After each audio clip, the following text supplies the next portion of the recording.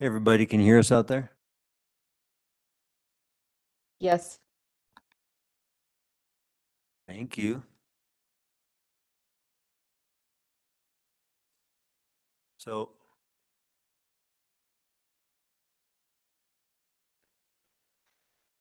Just one sec, we got one little computer thing to iron out and we'll be launching.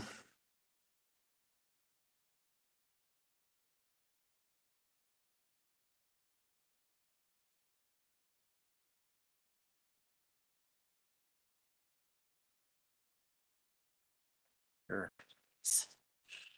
You tell her to. Record. I- I'm in. I haven't, Yep. to, to the internet with your.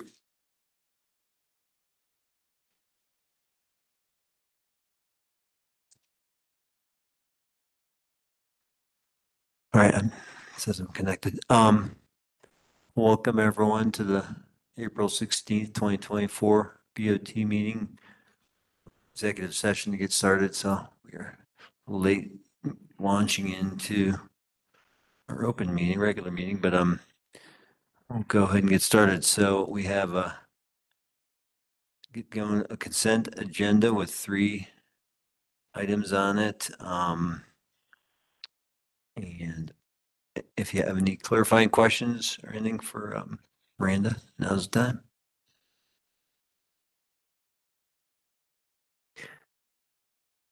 I had one s- small one on the minutes, and I meant to tell you what we were done.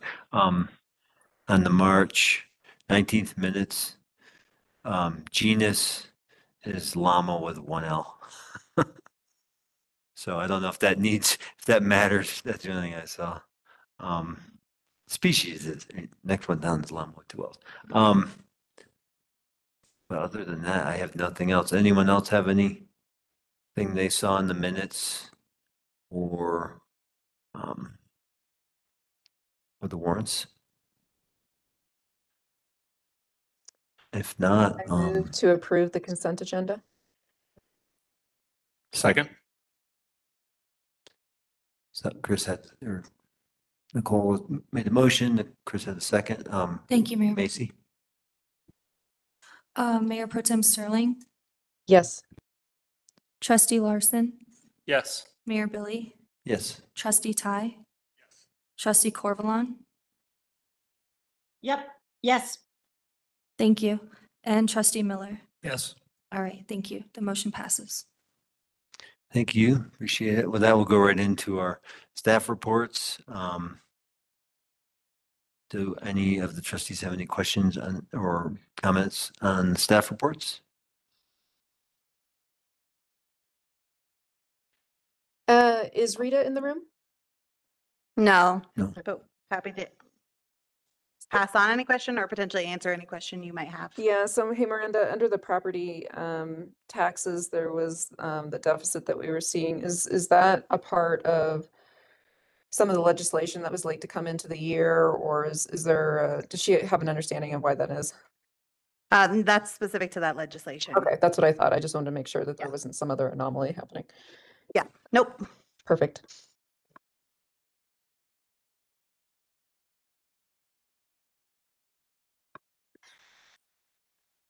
Mayor, really, I'd love to draw attention to just two quick things, just mainly for the public.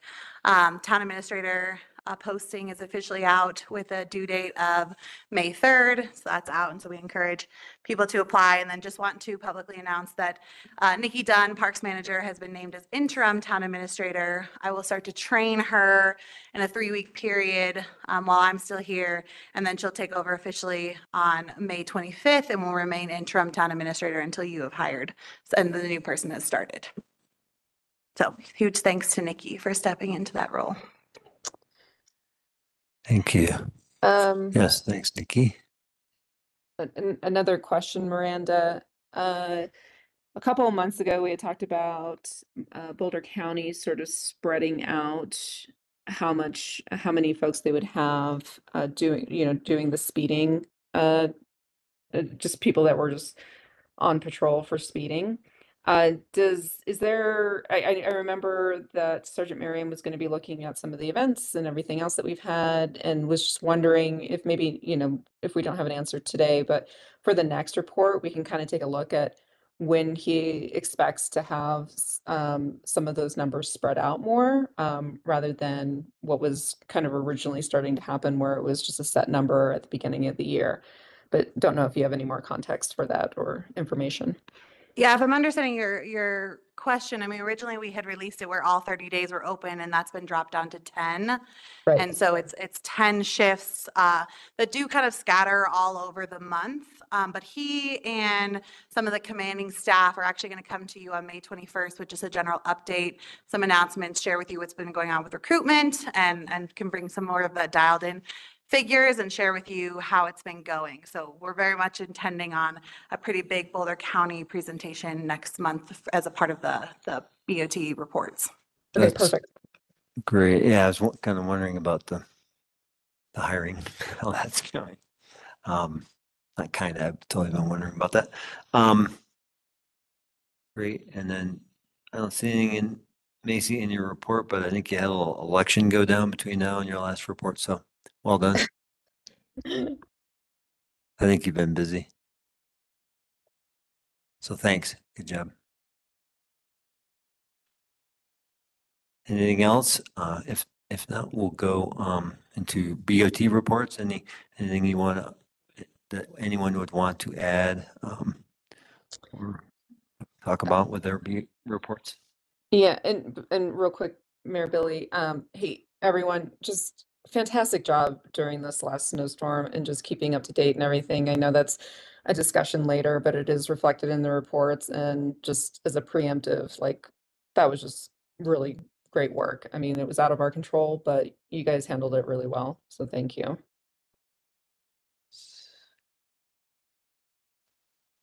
Thanks, Nicole. Because we've had lots of emergencies lately. Um, Yes, we have. If nothing else on the BOT reports, we'll go into our first action item of the night, the Boulder Regional Emergency Telephone Service Authority rate increase. Yep, so Right. I'm going to introduce this, but we actually have Sheriff Johnson on with us. And so I'll get this Cool. started. Great. And then Sheriff Johnson jump in where, where needed.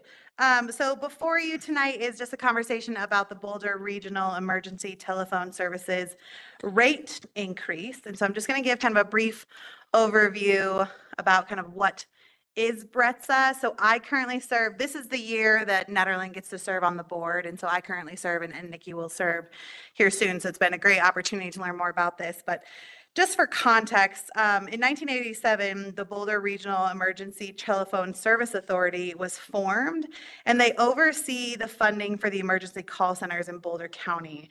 And so that's Boulder County itself, City of Boulder, and Longmont. Um, the funding for BRETSA is drawn from phone users within Boulder County um, and cities and is collected monthly by phone companies from their customers. And these funds are allocated towards staffing, training, equipment, technology advancements at the emergency call centers. So again, so I got a little ahead of myself. So on this next slide, you're really looking at, you know, there's 1.7 million in 2024, and it's, it's everything from, you know, the text to 911 to a series of IT technology, um, having the call centers, staffing the call centers, ensuring that those uh, dispatchers are well trained, doing a series of public alerting. This is obviously a very essential service for our community.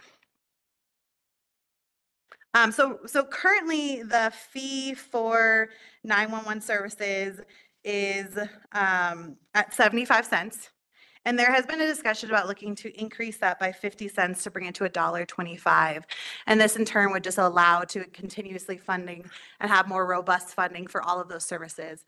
And I think you know, again, with dispatch being such a vital service, the, the desire is to continue to train and have the right staff, you know, hopefully avoid any sort of turnover and continue to uh, invest in, in what those incredible personnel do. And so um, the state average for BRETSA funding is $1.91. We're looking to go to $1.25. And so we are lower than the state, even at the 75 cents it is now. It's much lower than a lot of other um, authorities. And so we feel like this is really appropriate. Uh, Sheriff Johnson has spoken with the Boulder County Commissioners and, and they are in support and City of Longmont appears to be in support. And so we just are going around the different jurisdictions to kind of see where you fall. Again, why is that increase? Really needed for software, hardware, and personnel. All the things that make the 911 dispatch work and function well needs to be funded. Things go- up, prices go up, costs go up. And so we just need to align this fee to match um, those various increases. So tonight, what we're looking for are the two options. Do you support this or do you not? Um, Obviously, as staff strongly recommending support of this increase of 50 cents to $1.25. Um, But would love to turn it over to Sheriff Johnson to share anything else he'd like to add. Thanks, Miranda. Good evening, Mayor Gibbons and Nederland Board of Trustees. Nice to see you all. Hopefully you can hear me okay. Yeah, you sound, you're coming through loud and clear. All Thanks for right. joining us. Um, so we're really trying to play some catch up and the biggest expense that BRETSA funds and as sheriff, I sit on the BRETSA board. I happen to be chair of the board. So I'm really coming to you tonight as chair of the board, um, seeking support for a rate increase. The statewide average, as Miranda mentioned, is much higher than what we charge in Boulder County. I took a quick look before I jumped on this meeting and for example, your neighbors in Gilpin pay three dollars compared to what we're proposing to go to a dollar twenty-five. And the bulk of that funding supports the technology and the background of all the 911 centers in Boulder County. And um, ultimately, what this will need to lead to is a formal resolution or ordinance from the Board of Trustees in Nederland supporting it. And I can send Miranda a copy of an old county uh, resolution supporting it the last time that rates were raised, which was all the way back in 2014. So we really haven't increased in a long time. And as you all know, the cost of everything is getting more expensive. Technology is more expensive, and we're adding new and cool and different technology to support communities like Nederland with alert and warning, evacuation planning, all those systems that are important when there's a crisis.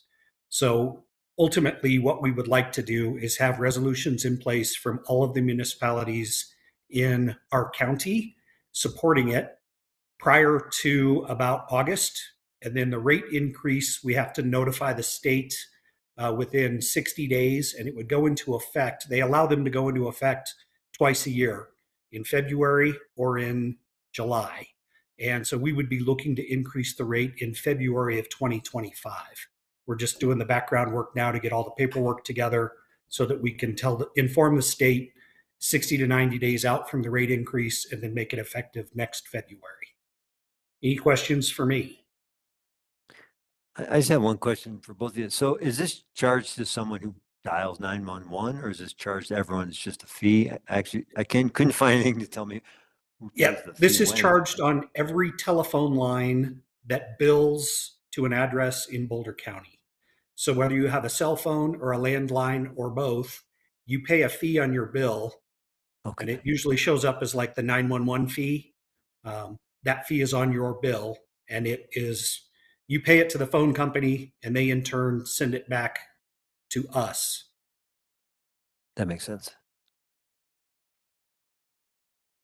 Any, uh, any other clarifying questions? Yeah, this is Tanya. So, so it's not based on a per call. It's a monthly dollar twenty-five charge on the bill? Correct. It's a flat fee that occurs every month for, again, every phone line that is billed back to an address in Boulder County. Gotcha. Okay, thanks.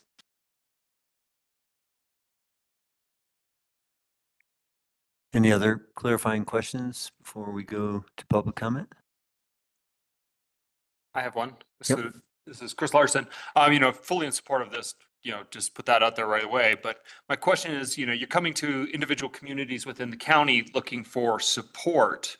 Um, you know, if we throw our support behind this tonight, sounds like Longmont might, but it, you know, say Boulder doesn't. How does this, how does our support or lack of support play into the actual enactment or, you know, raising of the fee? Great question. Um, and uh, the answer is really in the intergovernmental agreement that exists to create BRETSA back in 1987.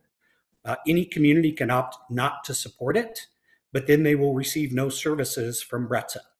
So in Longmont's case, for example, they run their own dispatch center in the city of Longmont, and they calculated the cost at about $3 million to have to stand up their own dispatch center separate from the countywide BRETSA funds. They would collect funds for just the city of Longmont, which is only a portion of Boulder County, and they would still need about $3 million to make up the deficit from the funding that and all the support that BRETSA provides them.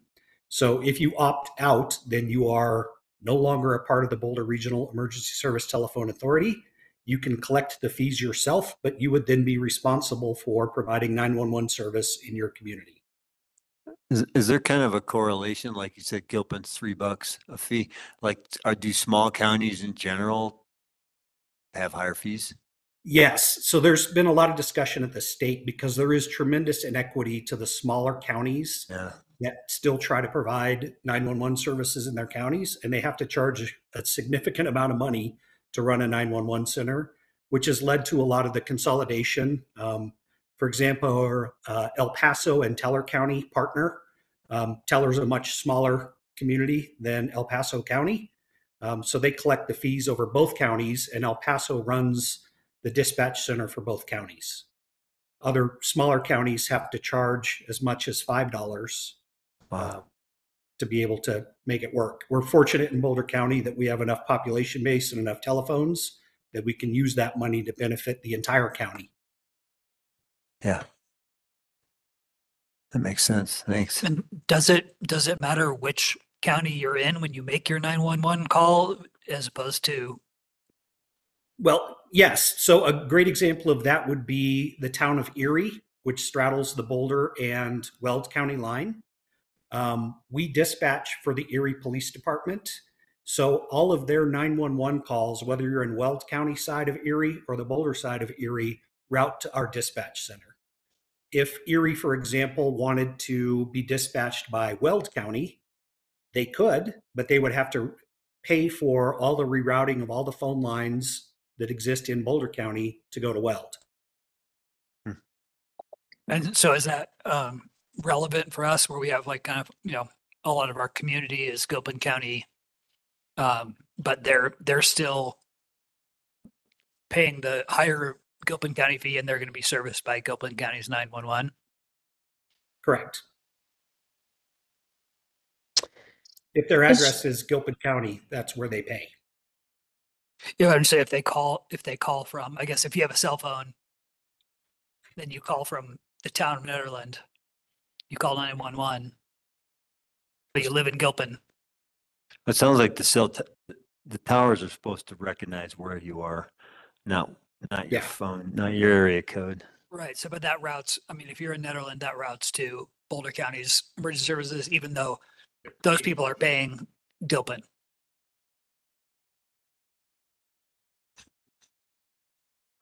It would, but we also have people, you know, we, we can't take into account, for example, a good example of that is the University of Colorado. We have 30,000 people here, a significant number of their telephones, they're paying a 911 fee in a different state.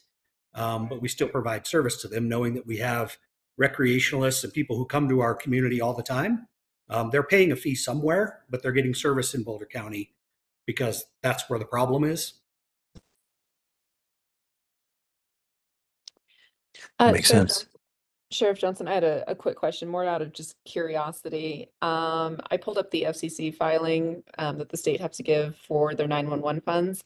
And it seems to break it out by whether or not it's a wireline, a wireless, prepaid, VoIP, or other. Is, is there a reason for that? I'm, I'm more out of curiosity. Well, uh, mostly because those have come into fruition. Uh, or, you know, when this started in 1987, landline was all that existed, right? And we dealt with landline carriers. And as technology has progressed, um, even mo- most recently would be the addition of prepaid. We knew that there were a significant number of people who were picking up a telephone um, that was a prepaid cell phone with service on it and they were not paying any fee. So the FCC and the PUC at the state level corrected that by adding that to the billing matrix. So that even a prepaid cell user, um, when they purchase a prepaid phone in Boulder County, pays the fee. Yeah, because they do have a different fee structure for them as well, as opposed to the other um, like wireless or wired type phones. So that makes sense. Um, maybe under FCC rules, but under state PUC rules, um, it's flat dollar twenty-five. Hmm, Hmm. it says a dollar for our fee, I sixty-three. It says a dollar sixty-three Uh, for the for the um, filings in twenty twenty-three. And that may have been the state average in twenty twenty-three. Uh, um, state fees by service You type. can see it.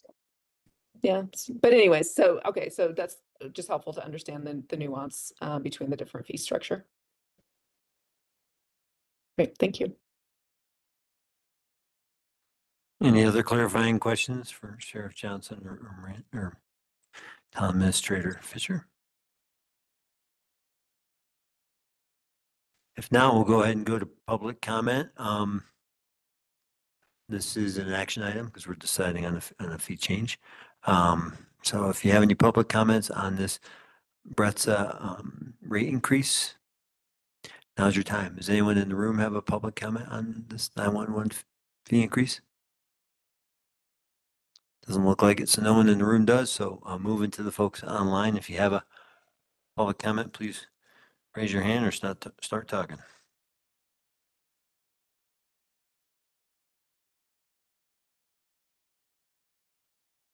Um, if you're talking, we can't hear you, so hit star six. Um, I'm not seeing any any hands up or hearing anything, so we'll go ahead and bring it back to, um, the board for discussion and a motion.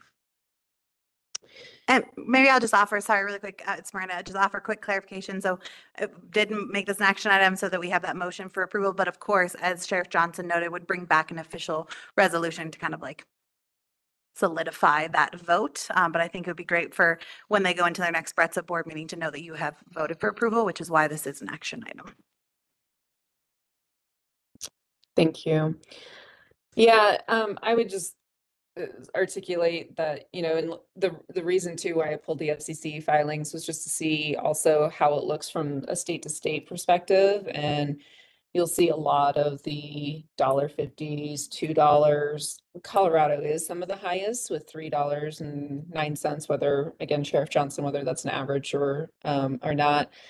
Um, but it also said in the filings that this has been a persistent and consistent problem across all states is not keeping up with the technological advances. And therefore, um, we're gonna, you know, not just our community, our county, but across the board, across the United States, this is something that a lot of communities are moving forward to because there have been so many upgrades. And so, um, voicing my support for this, um, you've got to invest back into the technology in order to keep people safe public safety. So, so thanks for bringing it to us.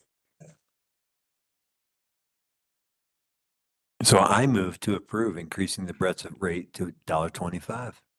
I second. Any more discussion? Quick? Not real quick, but do you have any, any discussion or question? Okay, Macy?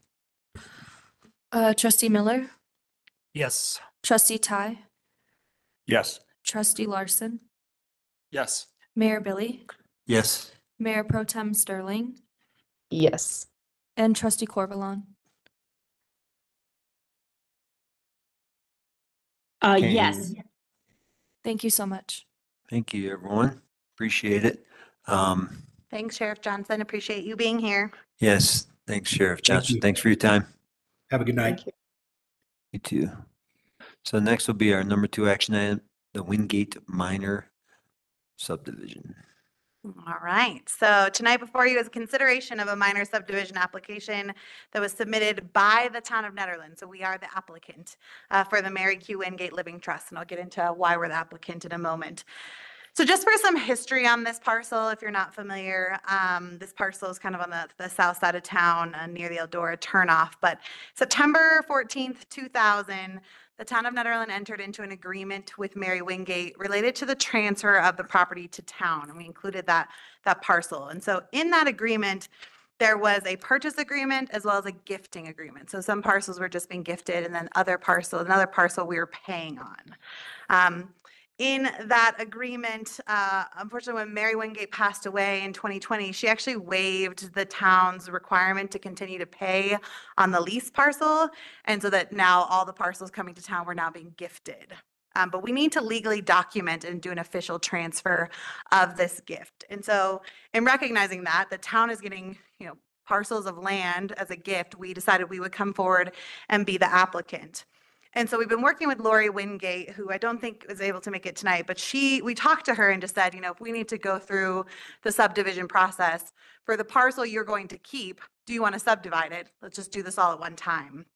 And ultimately, she determined that she wanted to subdivide her parcel into four uh, separate parcels. So with her four and the three that we were being gifted, it turned it into a major subdivision.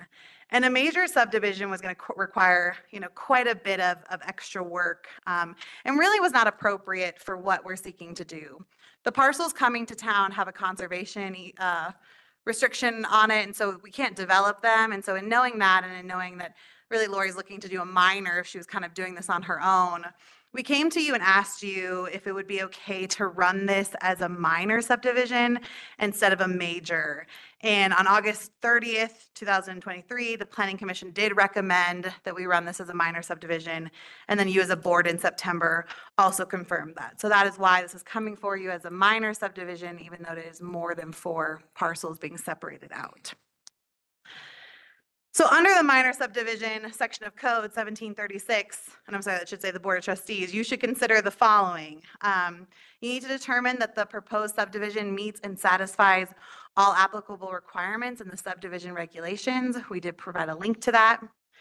You need to determine that the propo- proposed subdivision conforms to all required zone districts, um, including but not limited to setbacks, heights, floor lot area, minimum lot size. You need to confirm that it conforms to all other requirements of code, ordinances, or resolutions.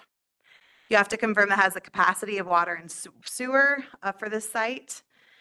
And then that it conforms to the goals and policies of the Nederland's Comprehensive Plan. So, um, and I'm sorry, the, the proposed subdivision will not result in an unreasonable increase of peak rates of discharge or decrease in the quality of discharge. So we as staff did a little analysis just to kind of provide an assessment of those criteria. And from a yard and bulk perspective, um, it- we don't have any non-conforming lots. The way in which uh, Lori seeks to divide her parcels are large enough. Um, It's all going to remain low-density residential, which is what it is now. You need 16,000 square feet, and as you can see, these lots are anywhere from 25,000 to 280 four thousand and some change. So these are well beyond the minimum lot size for, that is required in that zone.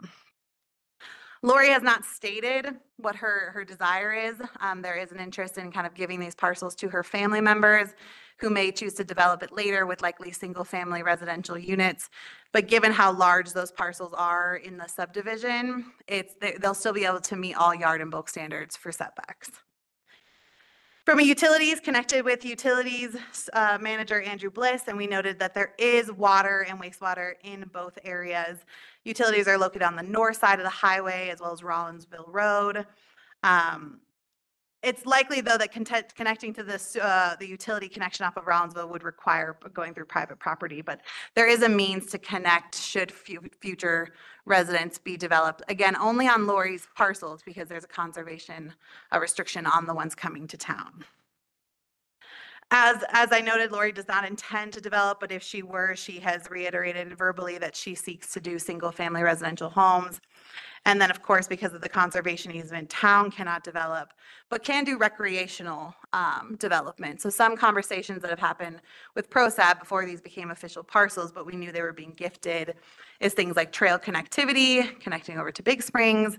Um, There has been some talk about, you know, uh, downhill biking or some sort of, sort of bike recreational facility. But ultimately, we'd like to see that ProSab plays a role in kind of guiding what that development could look like. But more than anything, we're very interested in mitigating that parcel and feel like it's a prime candidate for mitigation funds to help create kind of a, a fuel break.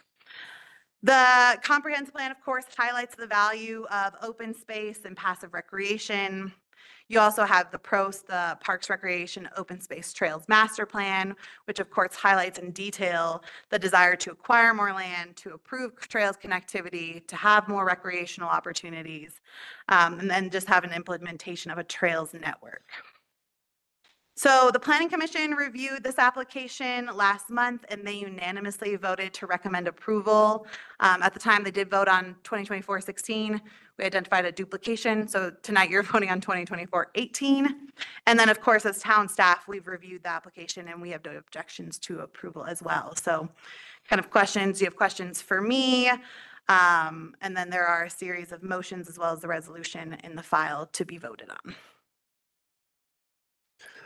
Thanks, Miranda. Any clarifying questions for Miranda?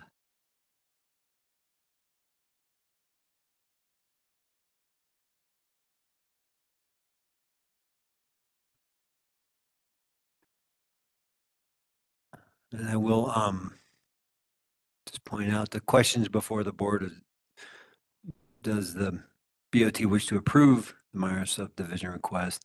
If so, do we have any conditions it would like to attach to the application? And then there's a series of, well, then, then there's approving the resolution. Uh, This is Tanya. I make a motion to approve the resolution Oh, we, we- um, we- as is. Th- Thanks. W- Cool. We will have, it's an action item, so we'll need some public comment, but, um, it- that, that helps me answer y- your take that there's no conditions that you, that you can see, that Is you there- foresee. As there's a motion on the table, I'll second that motion. So then we can have converse, discussion after a second. Uh, Okay, So- cool. Yeah, great.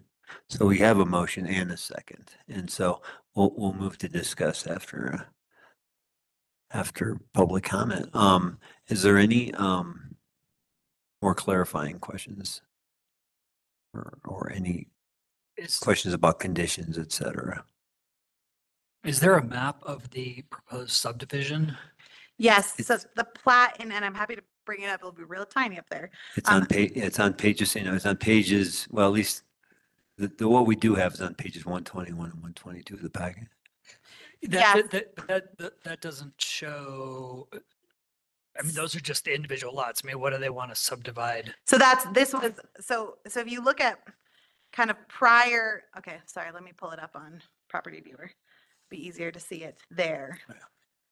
Um, give me one second. Yeah, I mean, if you're looking at the Boulder County property viewer, like I've, that's what I've got up right now. Yep, Um, so let me just share my screen so that the people online can Okay. see and then, s- I'm sorry, trustee Miller, probably some squinting here. So, um, this parcel here, this really big parcel to the west. Yep. This is what's being divided into four and remaining with Lori Wingate, if you can see where my map, my mouse is. So that's being subdivided into four separate parcels. Which, are- which are already outlined in red. Well, it's just, n- it's just this big one. Sorry, it's Okay. just this one right here. Okay. The Right. And so that was my, my question is, is there a map of wh- how that's split up? Yes, so that's in your packet. The lot lines are kind of hard to see, but it's on page one sixty-one of the updated Board of Trustees agenda packet I sent out. Yeah, I was trying, that's what I was looking at. Yeah, so- That's what that was. So you've got lot, you have to look real close. We have lot one in the upper northwest corner. You have lot one. The next, do you see that? Uh, Here, I'm zooming in, but you may have to walk over there. yeah, well, I've, I've got it on my screen. So Uh, lot one, all the way to the left side of the plat in the upper oh, okay, oh, corner. it's really small. It's Okay. very small. Lot one, next to it is lot two. Then you go to lot three and lot five are the lots that are staying with the Wingate family. And then town is acquiring lot four and lot six. So four is a, is a consolidation of the two existing lots i- that are currently Correct. separate in the Boulder County plot Yep. map. Yep. Okay. And then lot, lot six has already been defined. It's, alre- but just for our clean Okay. map, lot six is stays the same. Gotcha. So Town, town's getting lot four and lot Six. six. Right. And, and there's already a structure on lot one. Is that correct? Um, lot two is Lot where the two, structure okay. is. So there could conceivably be, a conceivably be a structure on lot one and lot five. And lot three. Okay, A- a- you know, and I think Lo- Lori's intention is she wants to keep these in her family. She wants these, if they're developed, single family, not looking to do large scale housing development, um, but has zero plans at this time. thanks.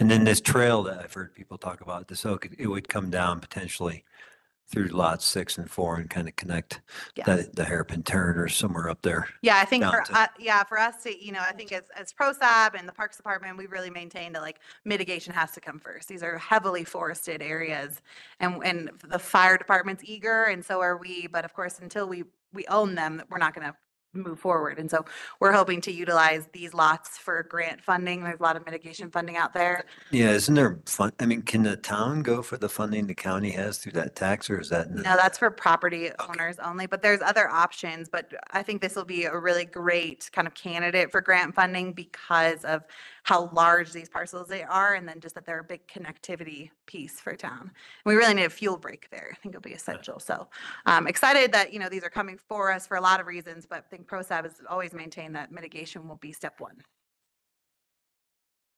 Love it. Any more clarifying questions before we go to public comment? If not, we'll go to public comment. We'll go in the room first. Anyone have any comments on the Wingate minor subdivision? Um, if not, we'll go ahead online. Um, anyone online have any comments they'd like to make regarding the, uh, this action item on the Wingate minor subdivision?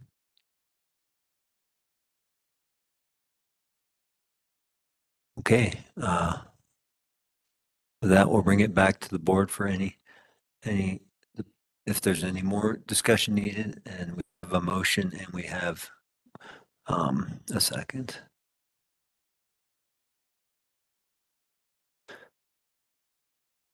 Are there any, any discussion, anything folks need to add or, or question? I think this is one of those, you know, this is basically one of those no-brainer things we eventually occasionally get, and it's great when we do because we can move right through them. But yeah, this is great. Let's do it. Sounds good. Um, so I think with that, Macy? All right, trustee Larson, Yes. trustee Miller, Yes. trustee Ty, Yes. Mayor Pro Tem Sterling, Yes. trustee Corvalon, Yes. and Mayor Billy. Yes. Thank you. Thank you. Appreciate it. Um, so with that, we'll move to our third action item of the evening with the purchase authorization for compact excavator. Bobcat of the Rockies. Andrew?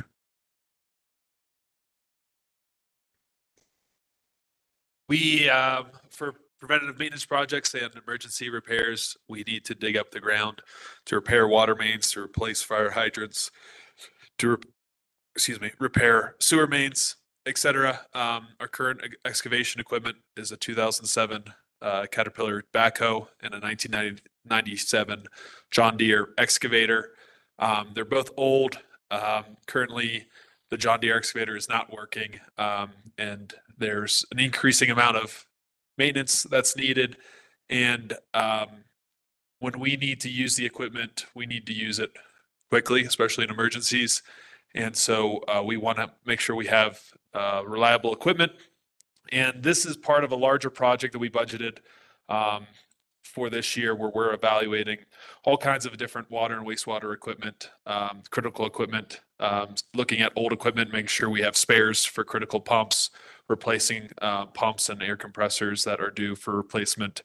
And um, part we evaluated, um, you know, putting money into the backhoe, putting money into the excavator, and um, we thought it was best to buy a mini excavator. And um, I budgeted for a used mini excavator, but we've learned through the process that um, you know buying a used ex- mini excavator without a warranty kind of raises additional issues. So um, I'm asking the board to um, purchase a new ex mini uh, compact excavator That's about this, a little bit bigger than our backhoe and it's, a- and smaller than our excavator.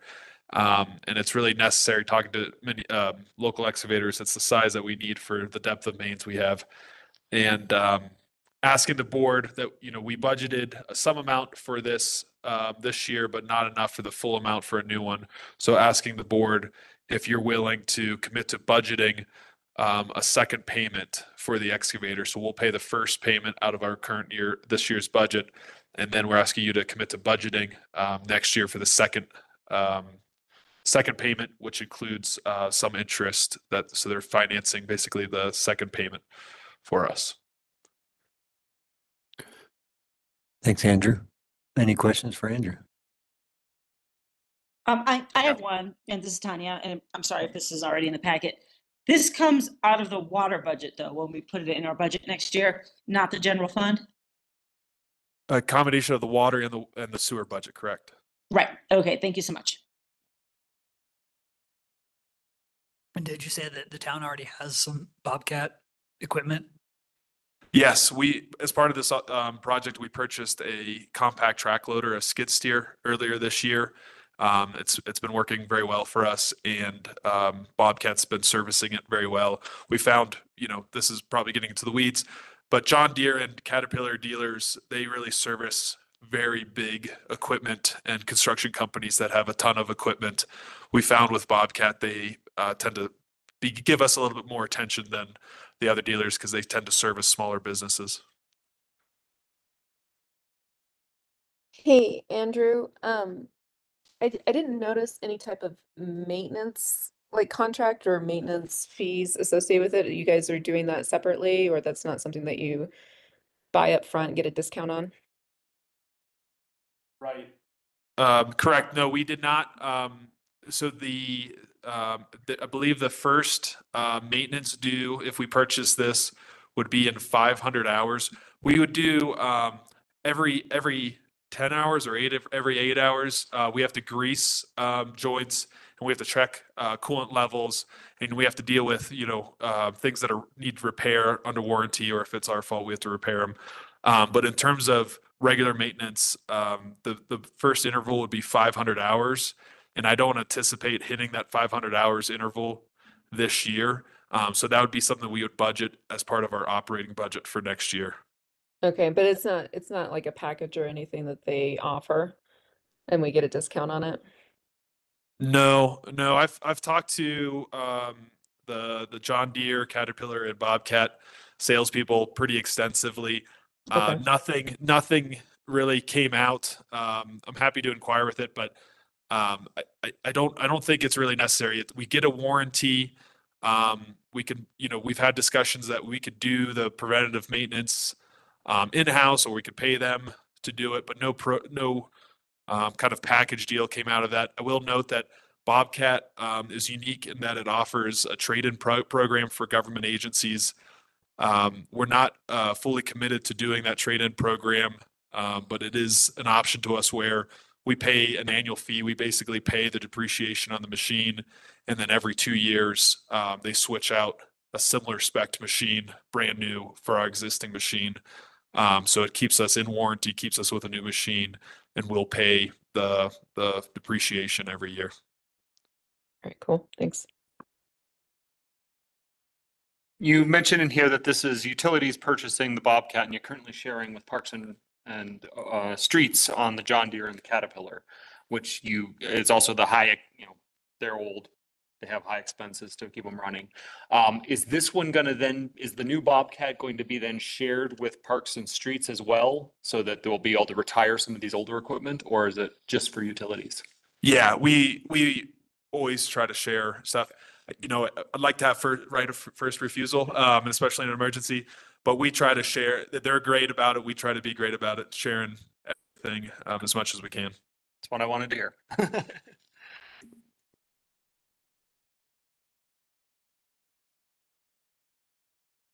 Any more clarifying questions for Andrew? Now we'll go to public comment. Um, anyone in the room have any comment on on this purchase? Bobcat? If not, anyone online have, have a comment about this?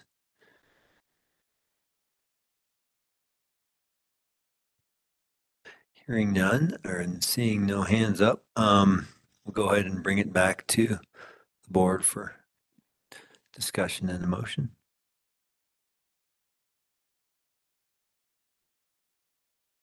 I don't see a uh, specific language, but I, let, move let, let me, let me get it for you right now. It's on page, um, sorry, I'd moved away, so.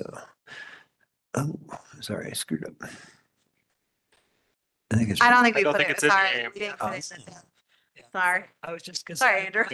I did not add it to the aim. Okay, And I think no worries.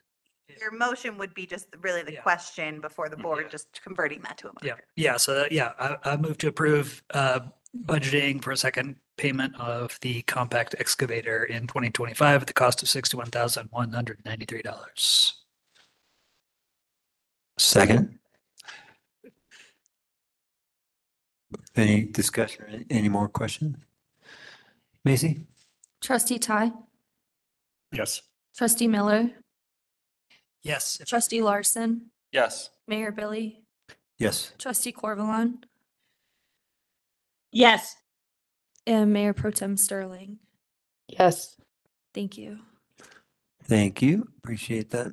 Thank you all. Appreciate it. Oh, anytime. I, before Miranda leaves, I want Miranda to, to dr- drive it as well. So we'll have a little demo day. That'd be great. Awesome. So with that, we will move into our, um, we have three discussion items this evening. The first one is the Xcel power outage debrief. Um, I do believe Miranda. Yep. Uh, y'all know this, but I'm going to tell you anyways. The first weekend of April, Xcel took the proactive step of shutting the power off in the town of Nederland and surrounding areas due to heightened winds and risk of wildfire. Um, when I was speaking with Mayor Billy, really thought it would be helpful for the community to know what steps town staff took. And I gave you a giant play-by-play, and, and I just want to give you kind of the highlights of this. Um, mainly just acknowledging that myself and Troy Hendricks, who's on the call as well, uh, Troy Hendricks is our emergency court administrator. We were the main points of contact for the Office of Disaster Management.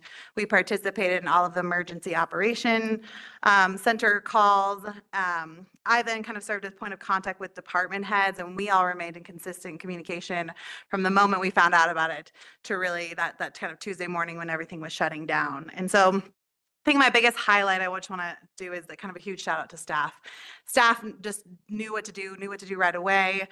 Andrew left a little too early. Um, Andrew and team just obviously knew all of our facilities run off of generators, and he and his team were really all over it. Almost 800 gallons we're estimating of diesel fuel went into these generators, and every two to three hours, the team had to go back out and make sure that they were um, fueled up. And so it was kind of a constant round the clock operation. But huge shout out to, ta- to town staff. It really feels like it clicked together seamlessly. Um, we also attempted to maintain a pretty good communication with the community, but identified some takeaways. So I'm just going to hit those really quick and then happy to answer any questions you have. From a communication standpoint, we really utilize Facebook. Um, Facebook is a huge means of communication for our community, but received some feedback that it would have been helpful to utilize Everbridge. So for clarification, the town has its own Everbridge account, which is separate from the county. So the county's Everbridge account you sign up for for countywide alerts. But the town has one that we can push out messages saying, hey, we're working on the, a main break in your area, or we're gonna, you know, do some culvert work, and we can alert and really target a specific area and send out an alert. We unfortunately are still working on getting that whole system set, so it wasn't the right means because it would have missed large chunks of the community, but working on getting our system to a place where we can send out mass messages. And so the phone numbers associated with our Everbridge account are phone numbers associated with your water bill. So if you don't have a util, phone number with your utility bill, we strongly encourage you to do that. And we're going to push out some messaging about how to sign up for that. But that's how we'll push messages out. We also noted that we probably should have been a little bit clearer about our communication about the community center. There was some question about why were we not a shelter? We really served as a warming shelter from typically eight to eight. But we never received any sort of messaging in our direct communication with ODM and other parties like law enforcement and fire department that we ever really needed to activate as an overnight shelter. Activating as an overnight shelter is not just opening up the doors. If you're going to call for an official overnight shelter, you need to have the right pieces in place, the right personnel in place to truly run a shelter, which for us would have required pulling up Red Cross. And we were really mindful that we didn't want to reallocate resources to Nederland if that need wasn't there. So we trusted our partners with law enforcement and fire to provide that guidance. And you kind of will read throughout here, we had staff on standby, on call, but at never any point were we pulled in to activate a shelter here. But we were a warming shelter. And while some of the Facebook messages you see, we say we're open so you can get warm and you can charge your devices, we probably could have been a little bit clearer in our terminology. We did identify, however, that Red Cross is there for support only in our current IGA, and they don't actually activate the shelters. Well, from a capacity standpoint, we don't have enough staff to fully activate shelters, especially when half our crew's out filling generators all day long. So we really need to renegotiate that IGA so that Red Cross activates the shelter and doesn't just come up to support our staff. So Don's going to take the lead to talk to the Red Cross uh, personnel to get that IGA updated, and we'll bring it back to you in the near future. Generator reimbursement, we'd love to get reimbursed for that. That was a huge expense that we were not prepared for. We contacted our insurance. Unfortunately, it's not a covered expense. Um, I did ask Xcel in a, in a debrief I had with Xcel just like, this is, you know, like a lot of people, there are a lot of expenditures that came with this decision that communities like ours really struggle to absorb. And so, of, of course, realize that that's a shot in the dark, but put it out there. But I think for us, we really identified how valuable a portable generator is going to be. Um, we, you know, it's it's just going to be essential for all of our different equipment. So Andrew's going to come to you in 2025. Um, we we will be fine if this event happens again with the current plan in place, but it would just be a great added resource.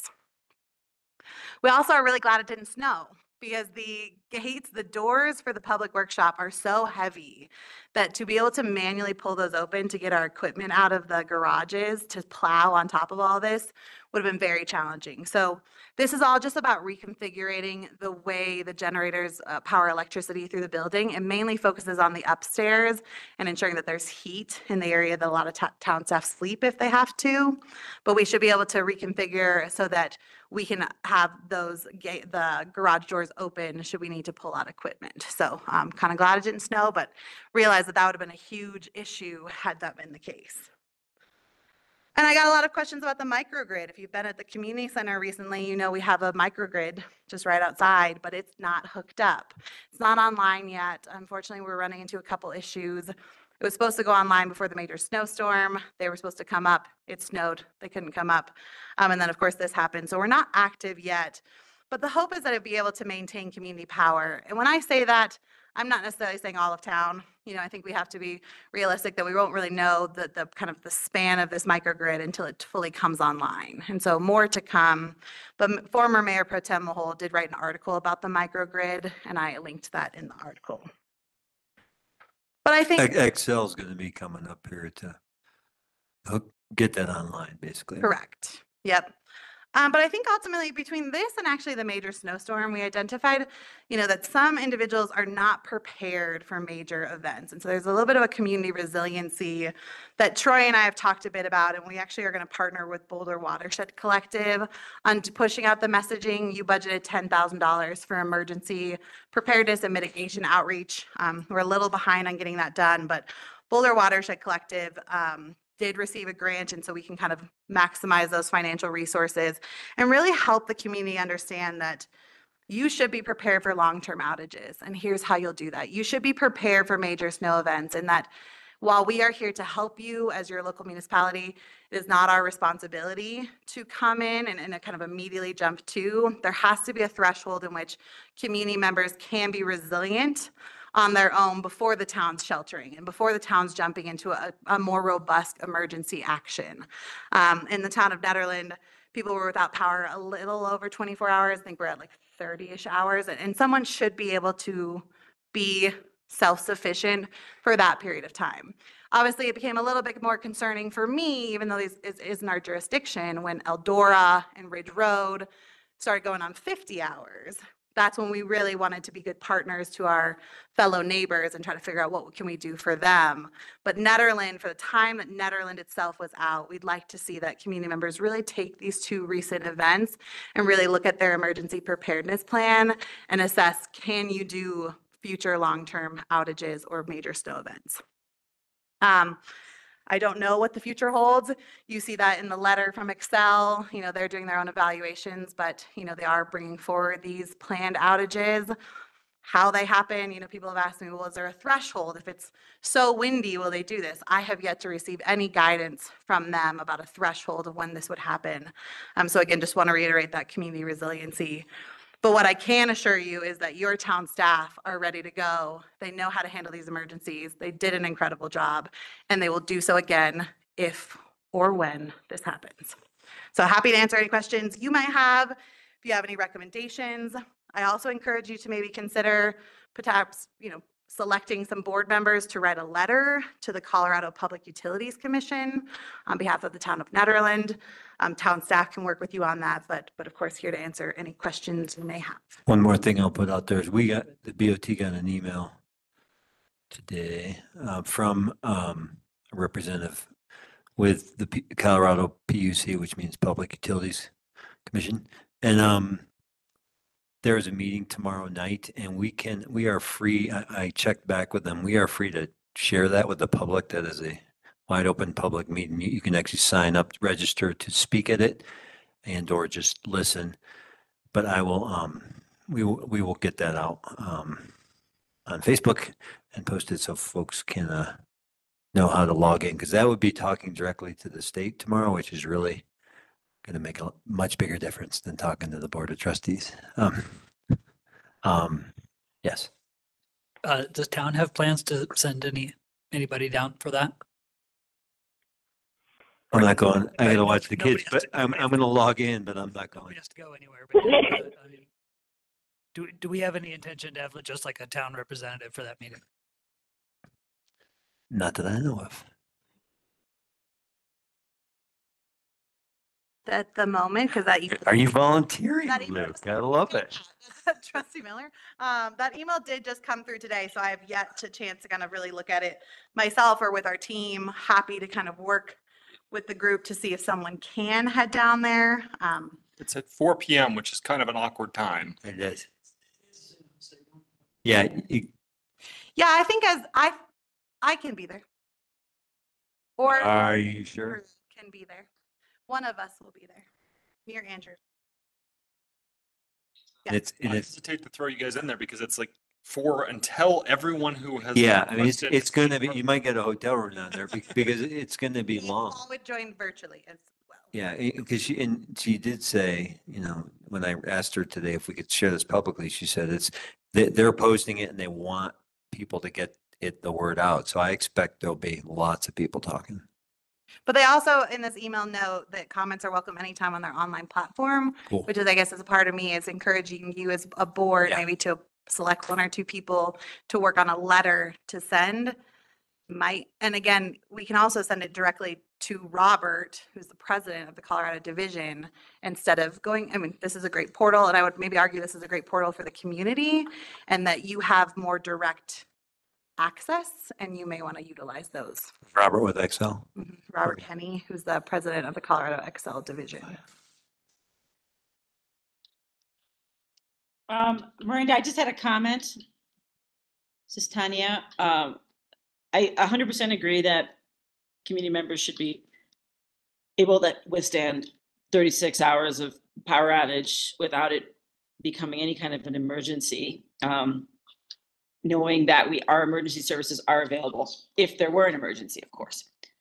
But I would like to say that opening that community center on Sunday was a very welcome move and it was really good for building community. I mean, I saw the big TV was on in the senior lounge playing sports. A Bunch of the the teens and the kids were down there uh, congregating, playing, and um, I mean, I'm sure there was a lot of other stuff going on. I'm I didn't personally go in, but I did go pick up my teen, and I think um, that kind of action, even though it's not necessary, is a really good thing to do, and I encourage you to do it at, at all the times that because you have the generator and it's just a way to bring the community together. Anything that we can do that's positive, that can build community is, and get people off their phones or, you know, like out and about together, I think is really important. So I thank you for doing that. And the, I think the community center in particular for um, doing that. Yeah, thanks, Trustee Corvalon. I actually just did a debrief with Don right before this meeting in our one-on-one, and we agreed that we're going to develop a policy that, that says, instead of having to make that call that day, which to, to your point was kind of a no-brainer for us, that the policy is just going to state that in the event of a power outage, the community center will be open on a Sunday from eight to eight. That's great. Thank you. I have a question, maybe a little bit off topic, but the generator that is behind Nederland Elementary School going up to Caribou Ridge, is that a town generator? And Yes. It's loud. do we have any thoughts about that It's generator? old. Um, yeah, we have lots of thoughts about that generator. That generator is really old. Um, we'd love to replace it and it comes at a pretty high cost. So We actually ended up having to do a temporary generator last year, which cost us a ton of money. And so, um, it's just a capital improvement project that, that didn't really fall into this year's, but yes, we are interested in replacing that generator. Um, we do have a lot of challenges with that generator. Yeah, just given that, it, you know, it goes every Tuesday at nine and being a, uh, a close proximity resident, it's, uh, it's pretty bad. If you ever want to tour, that generator is massive. Also, it would be real hard to get it out from under the ground, but. Uh, Where is it? Where is it? It is Caribou Ridge. underground in between, uh, Caribou Ridge and Nederland Elementary. It's, Oh, so, uh, the, the development agreement with Caribou Ridge, they put in that generator and then the town took it over. But unfortunately, it's been kind of nothing but problems for us. Um, but the cost of replacement is pretty hefty. Have you, what is the cost of replacement? Just curious. I don't have that data in front of me. I don't have access to the server right now. Would, I could would that come- be the I could get back to you. responsibility? Sorry, was Yes. that, would that be Caribou Ridge's responsibility to replace it if it was never good in the first place? It transferred to the town, and so it's the town's responsibility. Is that used for the sewage and the water pump? Is that what it's for? Or is Well, it yeah, I what- mean, it's, a- it's the generator for the pump station that, Right. that is in Caribou Ridge, yeah.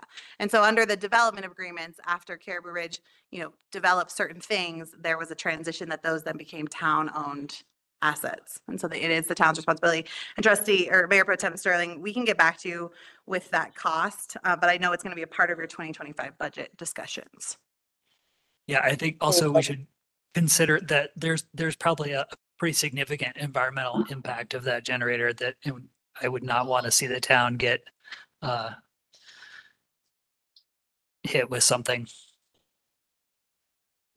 What do you mean, like sewage backing up or something? Is that what you're talking about? No, it, it just, it just blows out black smoke like, like, uh, kind of the oldest diesel bulldozer you could imagine. Oh, really? Oh, it's horrible. Yeah.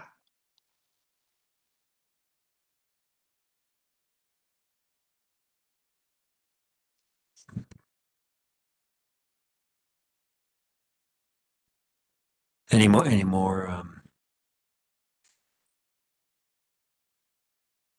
que- questions or comments on this? I mean, I think I saw a lot of people saying. I, I was out of town.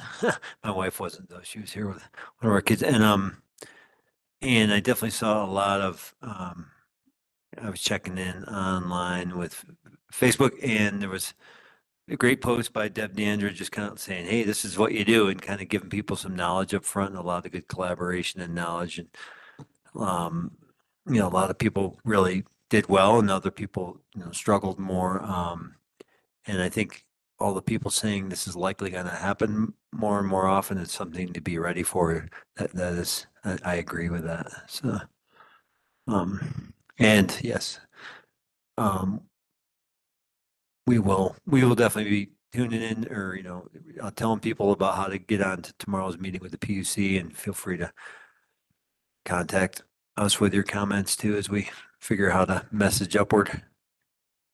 Hey, hey, Billy, sorry, this is Tanya, real quick.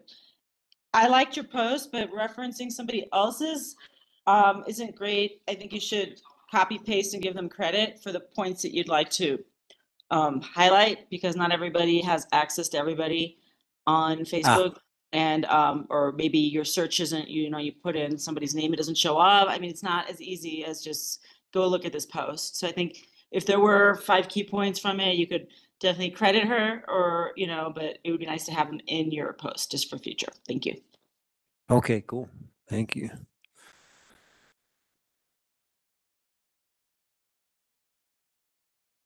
Um, with that, is there any, um, any more comments on on the power outage?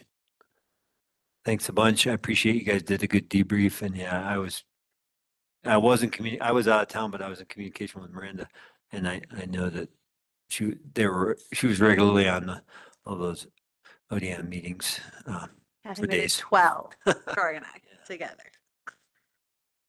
And with Xcel, and I think you said the county commissioners were on that meeting with you and a bunch of others. Um, with that, we'll move on to our num, our second discussion item, the term rental ordinance amendment.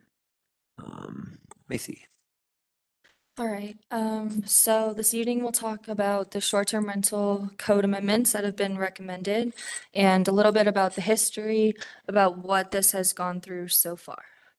Um, so in August of 2023, the board discussed changes that were needed to the short-term rental code. Specifically, the conversation focused on some of the challenges town staff are navigating with regards to thing like, to things like the two primary license types, the board's desire to exploring capping licenses, and community feedback that short-term rentals should have fire bans and bear-proof trash cans, as well as ways to communicate directly with short-term rental owners. The board provided direction to work on short-term code, short-term rental code amendments to address the following goals. The first goal that was established was to limit the number of housing stock converted to short-term rentals. Following the completion of the housing needs assessment, there is a clear need for long-term rentals or home ownership instead.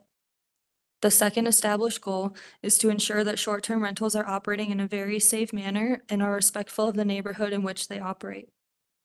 The third established goal is to provide a means for neighbors to work with short-term rental owners on their concerns and improve that line of communication.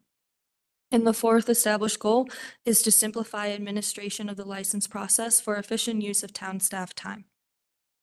So since October 2023, a subcommittee has been formed, which includes Chair Williams and Commissioner Herring, town staff, and town attorney Madsen.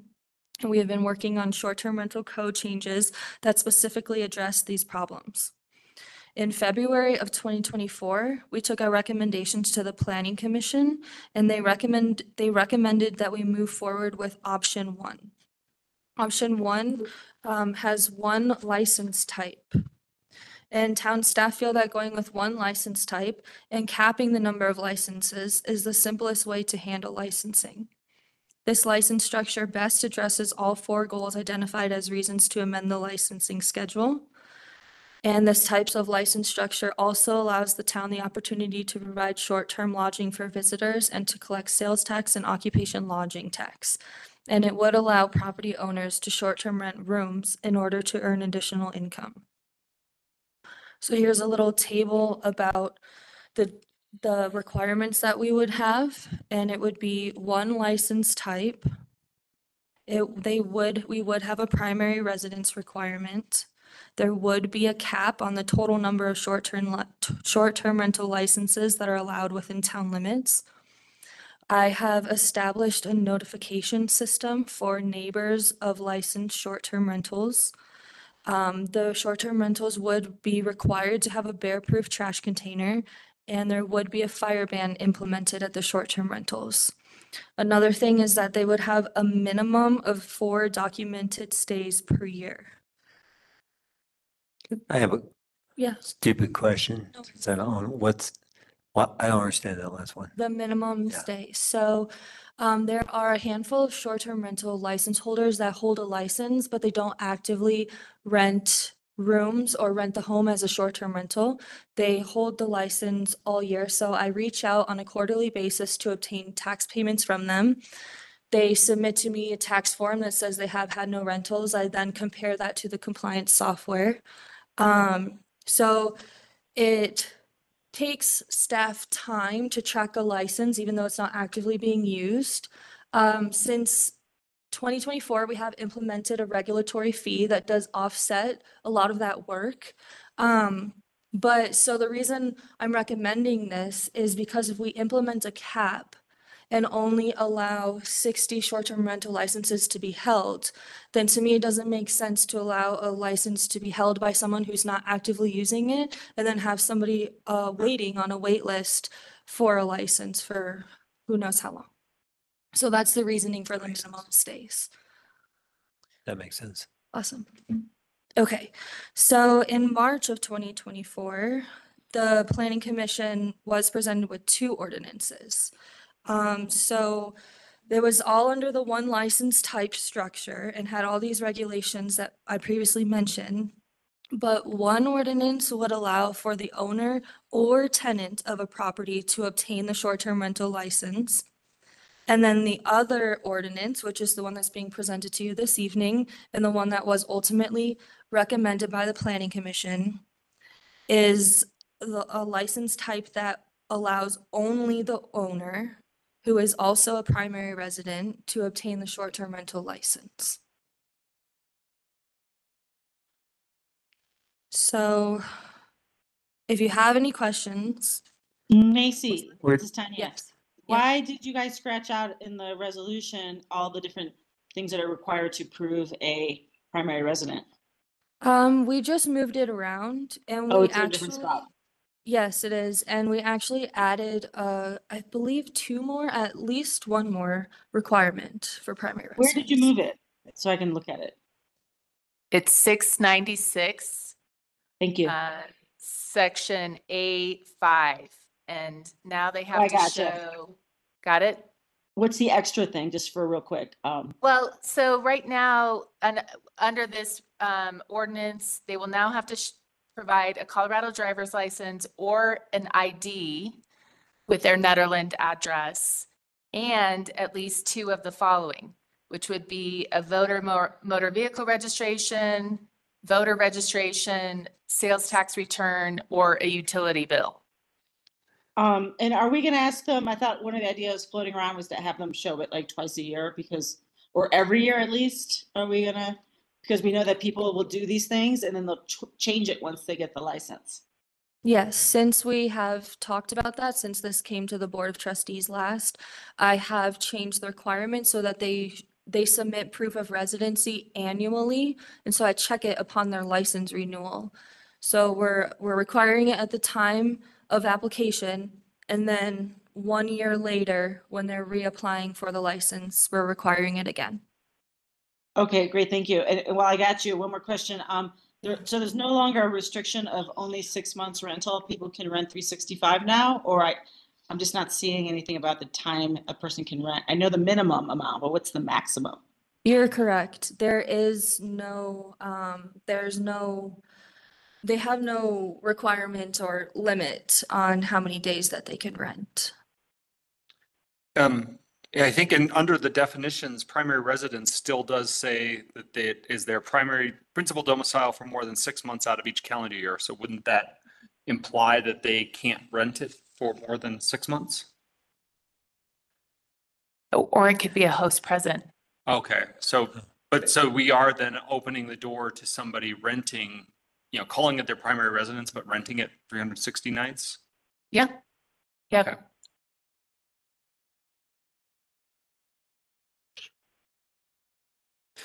Where, where'd they come up with the cap of sixty? What, I mean, like a That was percentage wise? based on a percentage of the housing stock and it was right in between eight or ten. I can't remember exactly. Do you, do you- either of you remember exactly how much sixty licenses? I, what I percent thought it was 60? ten percent right now. But I'm sorry, I know, I think we have seven twenty current housing units. Hmm. I think it's in one of these aims, hold on. It's in the Okay. aim. I couldn't see it, yeah. So The aim, Okay. yeah, so the aim notes, I don't know if it's in, I don't know if we kept it in this aim though. I think it's in a different aim. Yeah, I think so. I see the number, I couldn't see where it came from. Oh, you know what? I think it was in the PC aim. Yeah, it is in the Yeah. PC, sorry. So eight percent of seven hundred and twenty is fifty-seven. Correct. And so we kicked it up to 57 um, ten percent to give wiggle room so that it's not just capped, you know, so there's an ability to, for people to still come forward and, and apply before it moves into kind of that holding space. You kicked it, you kicked it up to 60, 60. so like not quite eight percent, or a little over eight. Little So, over um, how many, And a how whole many do we have right now? Yeah. I thought we had like sixty-five. How many do we have? We have, so at the time this all started, we had about fifty-six, but I have had, I've had a few of them give up licensure during the moratorium. Um, I've had two very recently, so I'd have to give you a new count. But I would estimate about, we have currently 54, 55 licenses. Yeah, I think it said in one of the aims that there were six openings still available. Mhm. And so, so we're not quite at that ten percent mark. And m- my question is where? Because it varies all across the United States in terms of where these percentages lie. So where was sort of the decision process and where we landed on just like that over eight percent? What was the thought process? Um, it was just determined in uh, the last time I spoke with the board that ten, the eight to ten percent was a good number to, because we're sacrificing housing stock, so they only wanted to sacrifice about ten percent of the housing stock. But of course, that's up for discussion. So we could reduce it if we wanted at this point. Sure. Well, It's not even, yeah, or, or, or we could put it as a percentage so that as housing stock increases, the number could increase. Sure, yes. Well, and but I think that's one of the reasons, or where I read that you all are recommending not doing that, just to kind of keep it clean and simple. Yes, I Right. mean, I think, you know, a- a- spending every year to, to determine, you know, what came on, what was demolished. I mean, Right. it- it- that's a lot of administrative work to kind of go back and, and determine where something falls in its permits. I mean, our preference is to just have a flat number and not recalculate every year.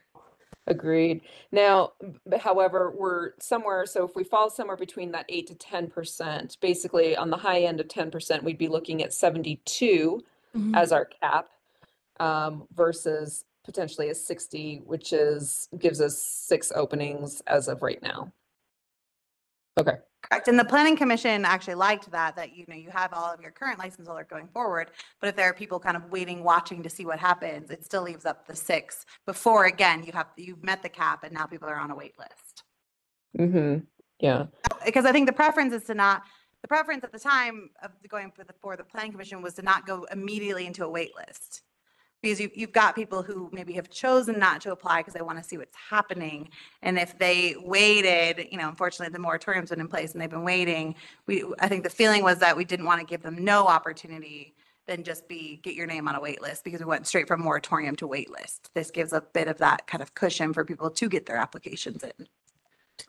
You know, Got it. Do you know why they didn't go with like seventy or sixty-five? I- I- That was the, the sixty was the, the, the staff recommendation. That's been our staff recommendation the whole time and, and they felt comfortable. And I think ultimately the question came down to, is it the flat rate or the percentage? And, and they like the flat rate and, and I wouldn't say there was any bigger discussion about the sixty, because that's always been our recommendation. So how long does that flat rate, la- excuse me, last? Um, is this something we, we, you know, you don't want to assess it every year, but you assess it every five years and Yeah, I You think know, the, the board could amend this ordinance whenever you wanted to, to Sure. increase it. You know, as you saw more housing come online, if you want. right. But I think that's why we didn't want to constantly be recalculating. I think it would just be, for us, we felt it was better to, in say, five years, come forward and kick that up by amending your ordinance. Sure. Yeah. I mean, I can see that being a big hassle every year when we're not growing fast enough for the need for that. But Um, so a, a clarifying question that I've got, and this kind of relates to the letter um, that Judy had wr- written in. So let's say there is a repeat offender, you know, just for giggles here. Um, who, who determines if they are indeed an offender and what happens? Like, I don't, didn't really see any consequence built in. Um, so curious as to what the conversations have been around that. Yeah, so um, every uh, concern or complaint about a short-term rental is directed to me, and of course, evidence and photographs and everything is helpful, but I also need it in written form. Um, I can accept a phone call, of course, and talk somebody through it, and we can follow up via email and get writing in that way. But um, so I need a written complaint with pictures and photographs if possible.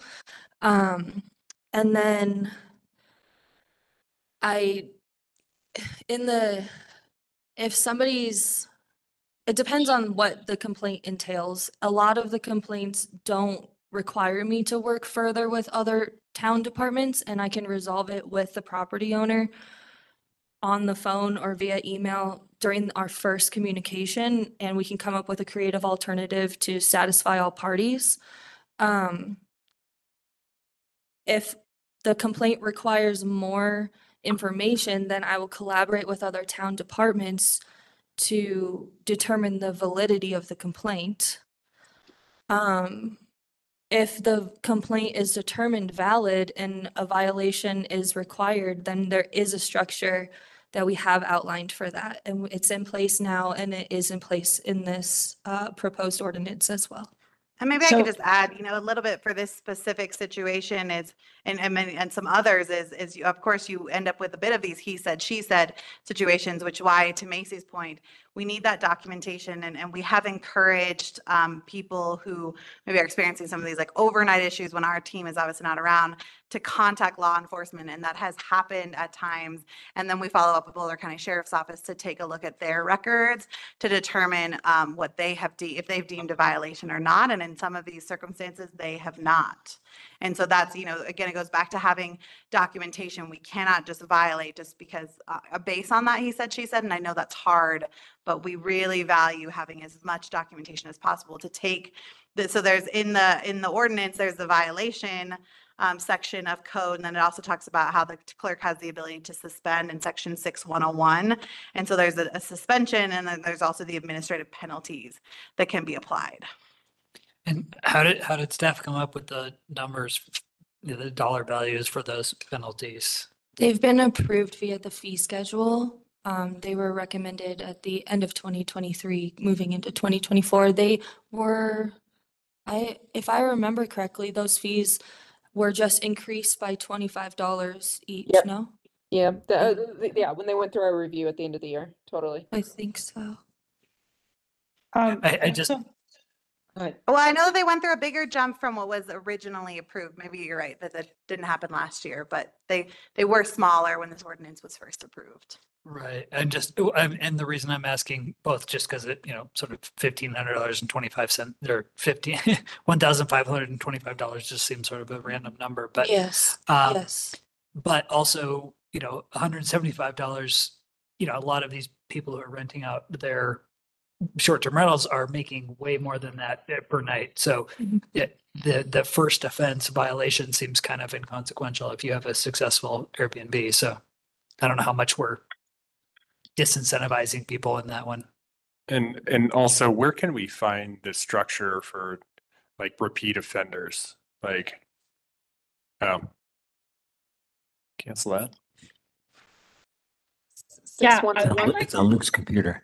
So it's I in would like to see, Macy, a fourth thing that is not just a twelve month thing, but a cumulative sort of, if there has been multiple violations within a five years or two years, like, 'cause does it just roll back over to zero every year?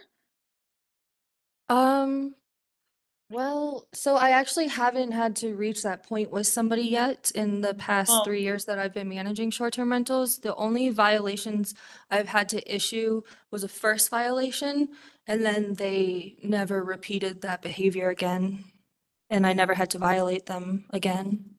So I've been able to manage it, but uh, yeah, I would, I would take all of that into consideration upon the time of renewal. If it was a person that I've had to issue violations to, or somebody that I'm having trouble obtaining quarterly tax payments from, I'm definitely going to be taking that into consideration upon renewal.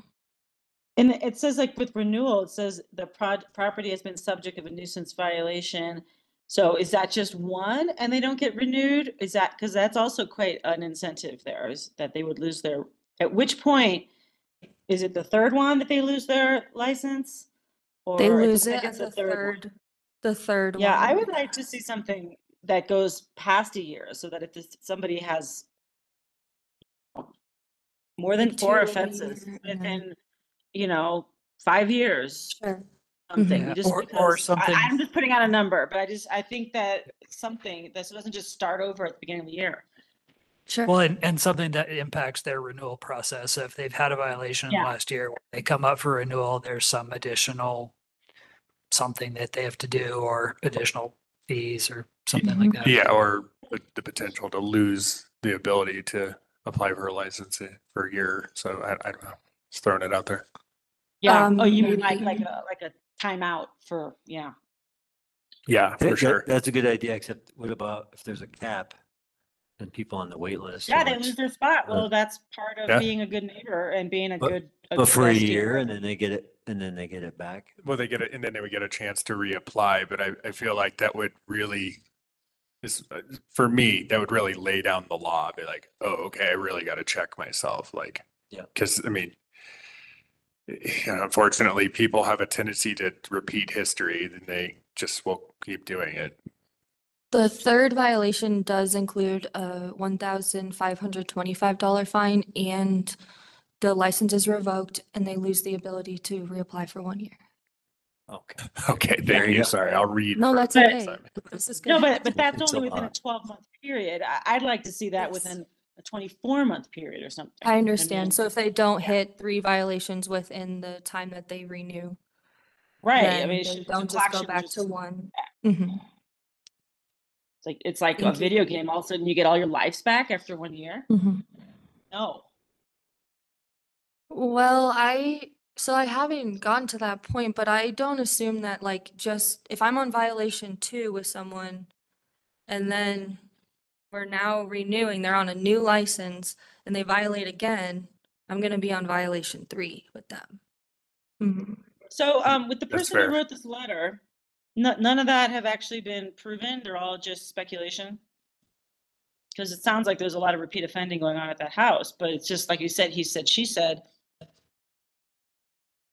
Yeah. Yeah, I, I I guess I, I want to be mindful of, of kind of this person, but I think that we have struggled to have enough documentation to demonstrate the violations because we're not getting it from law enforcement.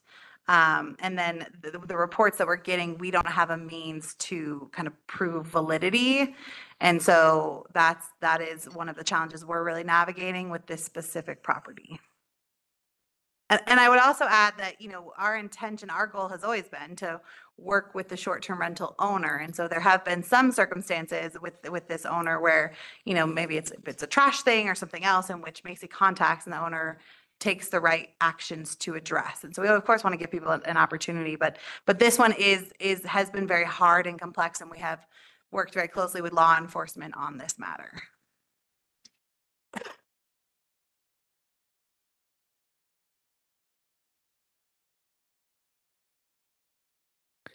Any more clarifying questions Can I- for, Can I just I- I add have a one. thing? yeah, I, I'm just reading the, the renewal part of the um, license. And Macy has a lot of discretion in terms of renewing a license. So um, the licensee has to demonstrate the minimum four documented stays, that the property has not been in violation of the article of the short-term rental license or article, that the property um, has not had their license suspended, and then that- they have not been subject of a nuisance violation conviction or plea of guilty. And when we're talking about nuisance, we're talking about a different section of the code that relates to like weeds, stockpiling, those types of things. We're not talking about violations of the short-term rental section. And so if any one of those conditions are not satisfied, the town clerk may deny the renewal um, application. So even for one violation, for a one seventy-five um, penalty, she has the authority to deny a renewal application as it's drafted right now. So I see that as good and bad, um, because, and this isn't about you, it's about any town clerk. Suppose there's just bad blood that's starting to develop and, and, and it just seems like it, it- there needs to be more objective criteria. Well, then, then there's, You know, and, and maybe there's this like, there's this ability to kind of say, you know, there's, there's a reason, but, but it just seems like there needs to be more objective criteria. Go ahead. So then the licensee, if the licensee is denied a renewal license, that person can appeal the town clerk's decision to the Board of Trustees. So that's, that's, that's a check. Yeah. You should be doing something in like a skeleton turret to, for a few taxers. Um, Uh, I have, go ahead.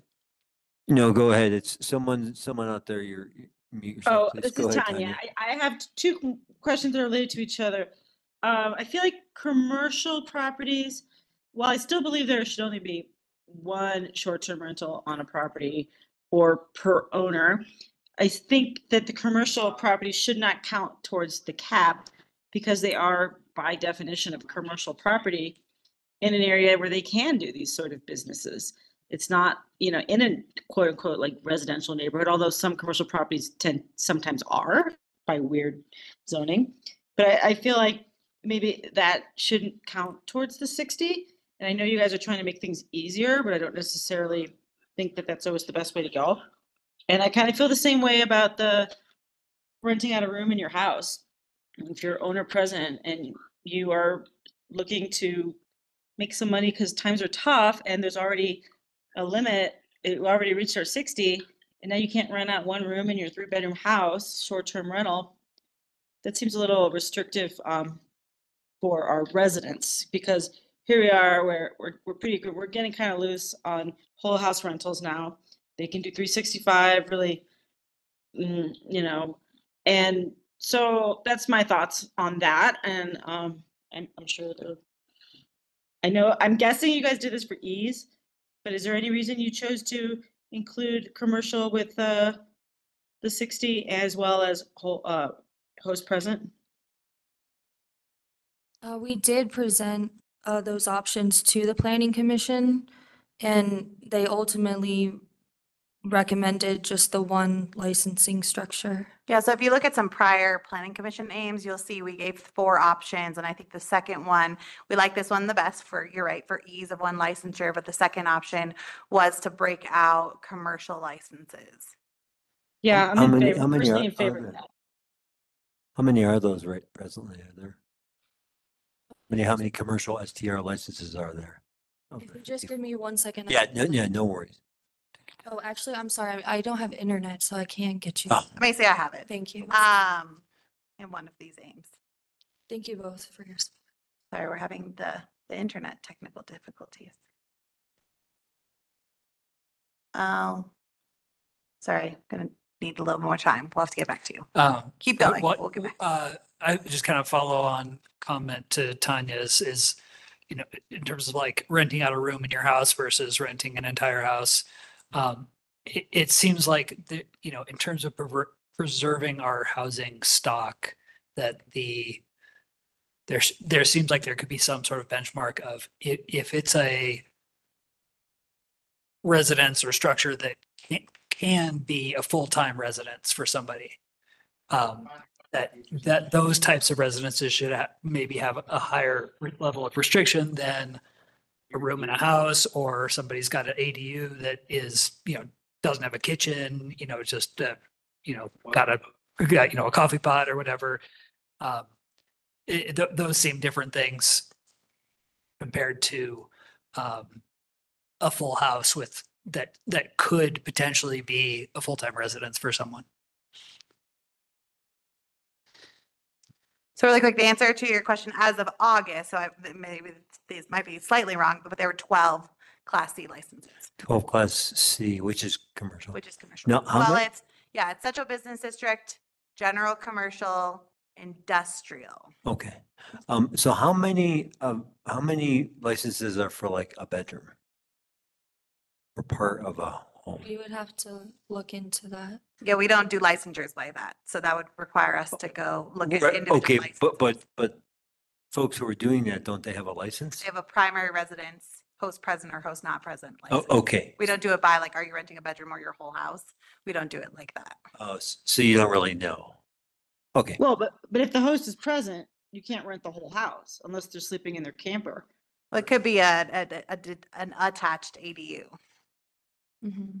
That counts as Yeah. host present. Well, I know, I guess, I know, I know you're trying to simplify things, but I just don't think it's a simple thing. Right, so I, um, let's just kind of use the example of, uh, you know, you, you've got a primary house and then you've got a a- a guest house or a, you know, a tiny house or a, a garage apartment or whatever, like that still counts as host present, right? That's like you're not renting out. So the trouble with the host present, host not present is that there's no compliance software or really any type of regulation that can determine when a host is or not present when the guests are there. They can generally be present when the guests are there, but they could also go on their own vacation to Florida for the week while they're simultaneously renting the home to guests. So I can't ever really tell if a host is present or not. Well, I, I would, I would like to see something that we are as conscientiously as possible m- m- making an effort to preserve our full-time housing stock for residents over STRs.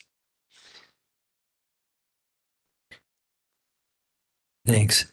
I, I, I do, I know we're gonna have public comment, so, um, I just want to see, are there any more clarifying questions or things that you'd like the public to hear before there are, before we open it up for public comment? There's no one in the room, so we're going to do public comment. There's no one in the room anymore, so, um, folks online, uh, if you'd like to make a comment, now is your time. Kathleen, I see your hand go up first, so. I think her hand went up, at least I saw her name. I believe she needs to call in. Oh, go, yeah, go ahead and call in.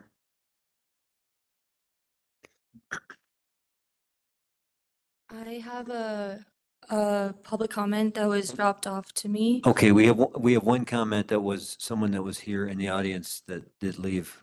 Um, Mhm. so Kathleen, just, you can go ahead and connect, but we'll go ahead and have Macy read this Okay. public comment. Sounds good. So this comment was written by Teresa, Teresa Crush Warren. And I'm going to read it exactly as is. First off, under summary, the first sentences reads, the BOT discussed changes that were needed. How did the BOT surmise that changes were needed? Was there a short-term rental expert that came before who examined current policies? Did it come from multiple complaints from neighbors of Airbnb hosts? Or was it a bu- bureaucrat at town hall who decided a two-year-old survey which indicated more long-term housing was needed should finally be acted upon? Answer to first question is that I'm sure no expert was consulted. The town might have looked at other towns' policies, but each town is unique and there is no comparison to Nederlands. Even appointing a group of current Airbnb owners and managers would be the more appropriate and democratic thing to do. There are two sides to regulations on short-term rentals. From the very beginning of town initiating regulations on Airbnbs, we have not been invited to a true work session where each side gives and takes. We are tired of a new regulatory tax being required each year that we were not given notice it was being considered by the board. So let's schedule a work session before any more regulations are put in place. Another trend that is happening is that the free economic market is shifting. There were more short-term rentals two years ago than there are. So more owners are renting long-term. The problem is not so much finding long-term housing in Nederlands, it is being able to afford it. What is really needed is more affordable housing. Landowners should be given incentives, parentheses, like Tungsten Village was deeded some land, end parentheses, to build it. This is how providing long-term housing should be best planned for. There is long-term housing out there to be had. It is just not affordable to service and hospitality workers in this town, and they're the ones who need it. Thank you. Thanks, Teresa. I Next, did have Macy. to mute Kathleen. There was a background noise, so star six, Kathleen. Kathleen, go ahead. Thanks for. Can being you hear me? Star six. Yes, we hear you. Kathleen Chipai, uh, 33-year Magnolia, East Magnolia resident. Um, I'm going to second what uh, Teresa's letter said. Um, I don't understand, well, I don't understand how we don't have the numbers of how many are uh, bedroom rentals, whole house rentals. I think if the people are living in their house or renting a room, there shouldn't be any limits uh, whatsoever. I mean, if this is all because town staff feels the need to make it easier or whatever, um, it's never made any sense to me from the beginning. Uh, I second what Teresa said about having any kind of workshop or engaging anyone. Um, I also, I'm glad to see that if somebody gets a complaint and loses their license, that they go before the Board of Trustees. And that's how it used to be for any business license in Nederlands. Um, I would like to see the businesses' language change because that's how Alicia screwed regular businesses. Now we uh, appeal not to the Board of Trustees if we're going to lose our business license. We're appealing to the town administrator, who is the boss of the clerk. Uh, So it's one segment. Uh, You know, here, I'm glad to see that the Board of Trustees will be the final decision if someone should lose their STR license. It should be equal with all business licenses. And right now, everybody else's business license, Miranda right now, and Macy herself, both of them could take a, a person's actual business license from them without having to pass it in front of the BOT right now at all. So I'm glad to see that that was changed and the BOT will decide if a license is removed. Uh, the same change needs to happen under regular business licenses. And I'm just really upset because as a business owner, the STR visitors to our community bring in lots of money, lots of money to the businesses. So I think you're shafting people with room rentals. I can't believe it's gone this far. I don't like the fact that you're going to require STRs to have a, a bear-proof container for trash, but nobody else. I mean, you can't do these single, singling out groups of people with regulation, over regulation, insanity. Okay, it's not. It's not American. It's not. I don't even think it's legal. Okay, you can't treat if you're going to treat STR businesses licenses to be removed. They go in front of the BOT. That's the same as it should be for all business licenses. Everybody should be treated the same. And if somebody has a room to rent in their house that they're living in, uh, they should be able to rent as many days of the year and as many of those that happen. You have a tenant living in the house. Nobody's lost housing. Renting a room is going to help them afford to continue to live in Nederlands because nobody Thanks, Kathleen. To live in Nederlands. Thank you. Thank you. Uh, Kim Goho. Kim? Kim Goho, Town Nederland resident and family for over 30 years. Um, my husband and I run a single family primary resident host present STR and have since 2020 without any issues. We're concerned with the proposed recommendations to regulate STRs even more than they are currently. It feels like those of us running primary resident rentals who are trying to keep our families with children in the community are being punished for a few property owners that are not being held accountable to the rules already set forth. These proposals, in addition to some of the current regulations and recently passed regulatory fees, are discriminating against a group of people that a small vocal minority of the town has issues with. If there are repeat offenders who still have current a current license, then town is failing to uphold the current regulations. The STR license agreement includes many of the complaints that you've talked about tonight, um, that the concerned community members are sharing. As STR owners, we agree to multiple rules, including proper trash removal, parking, and that there's a hotline available for complaints. I read the letter submitted by Judy and have, have heard similar problems with one STR with a bonfire. I feel sorry for those people with multiple or who are affected by these bad apples because they do not represent the STR that we and many long time locals operate. Um, a couple other points to further add more regulation seems to be against the feedback shared that the town staff needs to spend less time on STR regulations. Also, what happened to using the taxes to hire someone dedicated to STRs?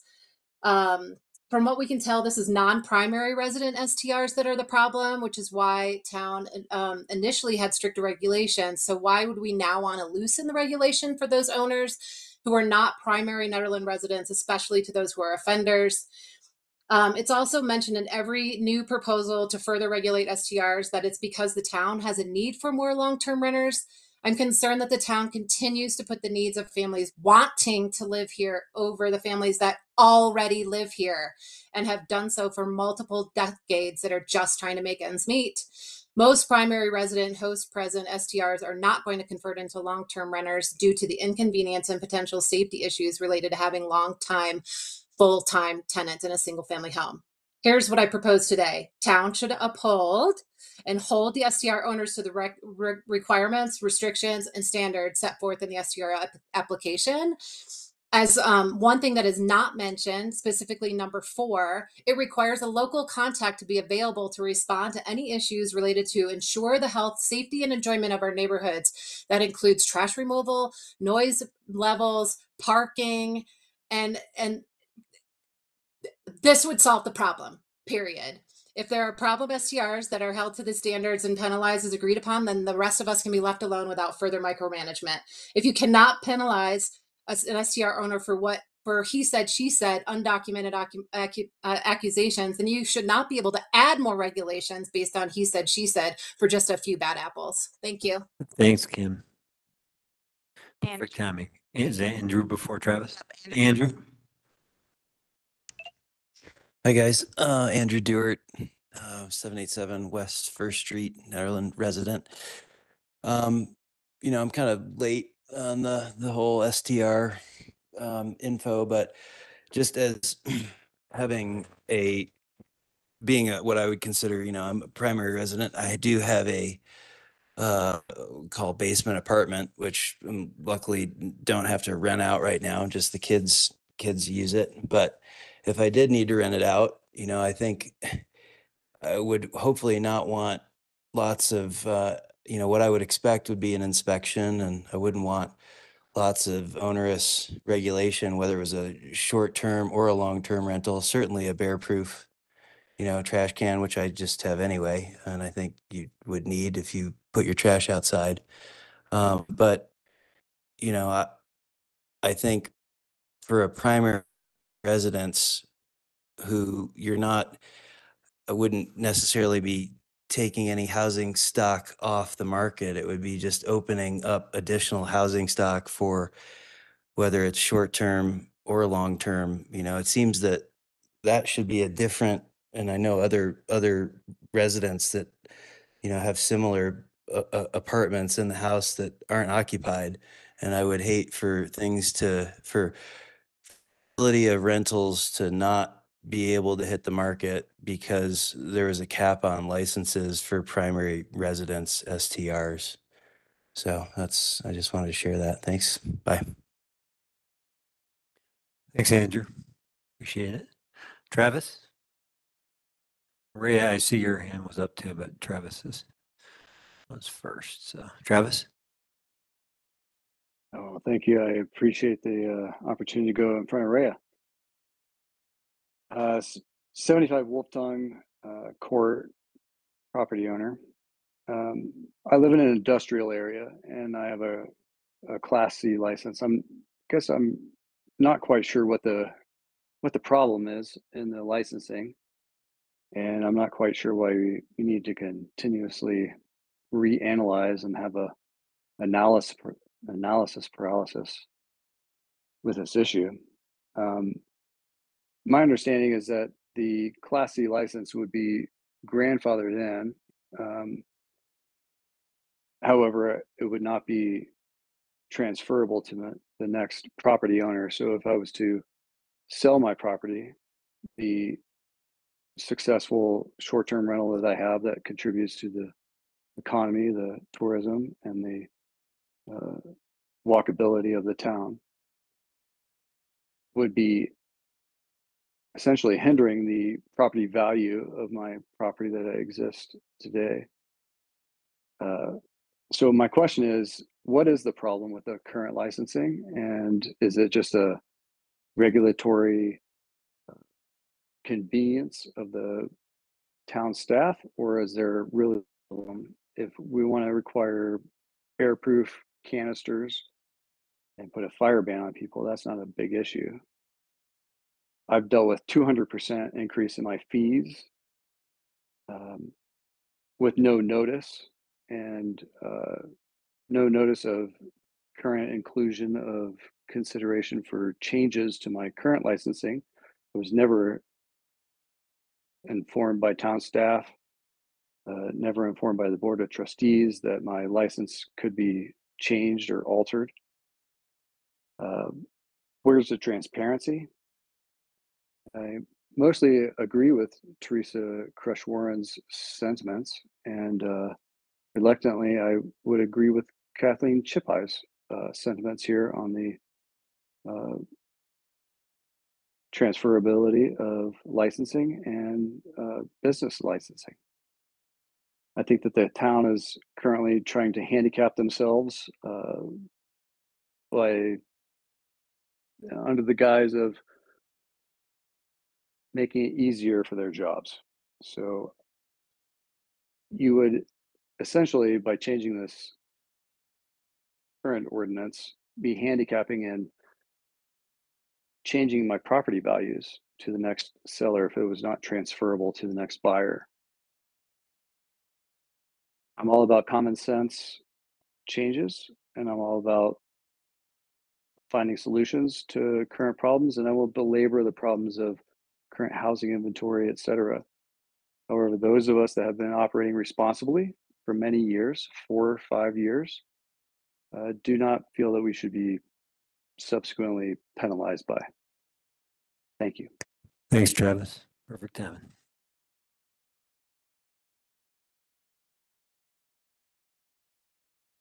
Rhea? Hi, everyone. Um, I'm Rhea Ortner Roble.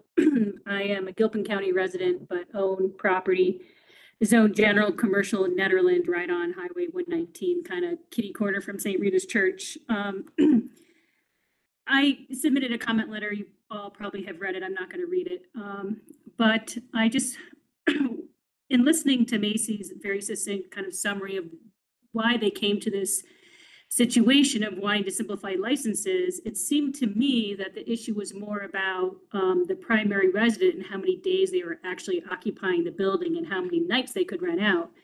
In my commercial uh, vacation rental, you know, we're unlimited the number of days and I don't have to be a town resident. And I fought hard for that when these regulations um, first came to be. So I don't see why the Class C licenses are effectively going away and that a person like me who's been in the community for almost 30 years can't responsibly operate a short-term rental, which is not even in a residential area. Now, some of you on the board might be wondering, why the heck is Nederland even um, allowing short-term rentals in a commercial property? It's commercial. Why are there even residential uses? And that is because of a really great ordinance that was passed a few years ago allowing something called mixed use in commercial zones. So, and in that ordinance, um, you know, as long as your ground floor is commercial, which mine is, um, I operate my ecology consulting firm, you know, the top floor or back end or whatever the regulars say, you can have um, a residential use there. And actually, in my building, I have two residential uses. I have one long-term tenant and I have one short short-term rental, which really works out very well for the layout of this very funky old A-frame building. And I guess I just am very concerned that um, the Class C license, which includes general commercial, that includes industrial, and interestingly enough, because of the old zoning laws, or people like Travis Brock, who just spoke, that actually has a house that's in a zoned industrial place. Um, you know, we're not, we've never had a complaint. Um, I don't feel like we're taking away housing from some, somebody else. Um, so why are you penalizing people like me? So again, I feel like keep the Class C license, let non-town residents um, run it in those commercial areas. Um, and we shouldn't be um, up for the cap. And then just one other thing I want to mention quickly, I'm also on the Gilpin County Planning Commission. and They went through this whole thing with short-term rentals. And they do not, they have a cap, but they, anything that's owner occupied is not subject to the cap. And I heard like, well, how do you regulate? It's actually pretty simple. You look at the Airbnb listing. Are they listing a room in their house or a whole house rental? It's very simple. If you can just see, oh, they're just renting a room in their house, it's obviously owner occupied. If they're renting a whole house, hey, they're in violation. So you, um, even though it doesn't directly affect me because I'm not a town resident, I really do think that it is very different, a room in your house versus a whole house rental. Thank you. Thanks, Rhea. Appreciate it.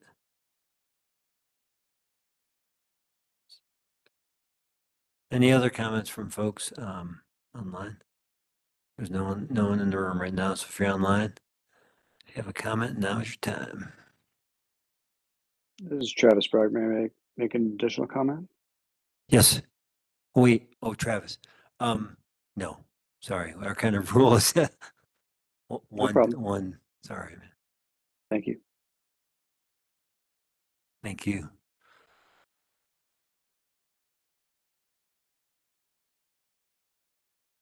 Okay, well, hearing none, um, and seeing no hands up, the whole roster here, uh, I will bring it back to the board for discussion. And, and to can address the questions before the board. Um, Um, this is Tanya. I, sorry, I'm gonna come back in a second. Judy had sent me a text earlier today, wanted me to read her letter out loud. And I thought I had it up here and I don't see it, so I'm gonna do that. And as a disclaimer, I'm not personally for or against the letter. She just wanted me to read it. So that's, but I'll be back. Sounds good. Is it the one she sent yesterday? Because we have. Yeah, I mean, we, I know we all in the have it, email. so I don't, yeah, I don't know if, I- she asked me to do it and I mean, I, I don't want to be a jerk and say no. But Well, you could. I don't you could- have to. You guys have all read it. I mean, Yeah, it, it, it's, yeah, we've read it. It's in, if it's in the packet, if it's what she, if she sent you something today, that's different, but the one that she submitted think it's in the packet. yesterday, So you're right. I don't have, you're right. It's in the packet page two oh one. So Judy, it's here and we've read it. and, Okay, um, perfect then. Good. I didn't know it was in the packet. Um, okay. I do have other comments, but I'll let everybody else go first. Well, and uh, I'll, I'll jump in here because, uh, you know, one of my comments uh, relates kind of to her, her, I think her primary concern is, is enforcement of, you know, this stuff and, you know, who's responsible. Um, you know, kind of, it seems like resorting to, uh, you know, reported violations, which are generally going to be neighbors. Um, uh, you know, I think that like sort of kicking the enforcement can down the road to rely on people to complain um you know that that's that's bad for neighborhood relations neighbor you know neighbors relationships and and i think just kind of bad for neighborhoods in general um to kind of count on people to call out their their neighbors on stuff. Um eh, you know obviously having a staff person who's dedicated to STR enforcement is a, you know, that's a, a complicated expense, but if we are, you know, charging the appropriate fees for licenses, it seems like something we could probably figure out a way to have somebody who's at least part-time, uh, committed to just keeping an eye on, you know, who- who's staying, you know, this is, seems to be a common sentiment among some of the people who are, uh, you know, operating successful stay within the guidelines. STRs are saying, you know, we're being punished for people who are not. Um, and then there are residents who feel, you know, sort of uh, like they don't like to have to call out their neighbors that are struggling with getting enforcement. um, you know, this kind of solves both of those issues. Um, I have a couple others, but I'll let some other comments in first. And so, I'm sorry, Luke, be- sorry, it must have been my connection. You cut out a little bit, but, or- or so you're recommending, was it someone part-time to oversee this? Is that what it was? Well, yeah, I mean, I think, you know, if we're charging the appro, like, our, you know, our fees that we charge for STRs should be appropriate enough to cover some level of enforcement of the rules and not rely on neighbors and residents to call it out. Okay, and just to be clear, Macy, right, you've only ever had to reach that with one particular person, so it's maybe not as ongoing of an issue based off the Right. workload that you've experienced, Macy? So short-term rentals takes up twenty-five percent of my time as town clerk. Um, so we're talking about delegating short-term rentals to another person who can help me within town staff. Um, But just, that's just the ongoing maintenance of it, it's not the complaints. The complaint part, you said you've only dealt with one. I deal with complaints on a regular basis. The severity is different and I've only had to reach violation with one short-term rental operator over behavior. I've had to reach violation on taxes before. Um, but typically when I get a complaint, as I mentioned, I'm able to contact the short-term rental operator and work through it with them. Okay.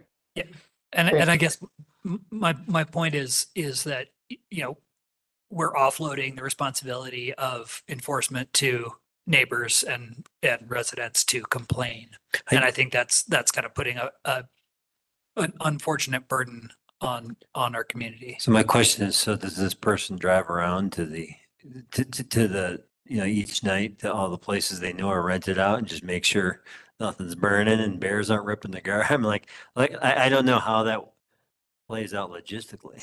Right. I mean, obviously, that's, I think that's a question of like, okay, how much can we afford to do? And, you know, maybe that's just somebody who keeps an eye on their Airbnb listing and is just kind of tracking, you know, what people are listing and renting. And, or maybe it's somebody who makes a, you know, a monthly round or, you know, I, I don't know exactly what that works out to be logistically, you know, obviously personally, you know, fire is like one of the big, you know, like that's super scary. So, um, but I think the logistics of that is more driven by what can we afford based on the fees that we have and how much of, you know, Macy's time can we save and you know, I mean, if, if you're not having to deal with complaints because somebody's actually out there, you know, dealing with stuff on the ground, you know, I'm, I'm with you. I, I think it warrants further discussion. You know, we may come to the idea that it doesn't work for us, but I think it warrants a future discussion on that. Well, I mean, we do have this contract with the Boulder County Sheriff's Office that we will, Sure. theoret- you know, ha- have some deputies here before you know it. Um, Oh, no, and, I'm and- with, and I mean, that seems more like the enforce, I mean, this is ultimately a, an ordinance, you know, you know, these are.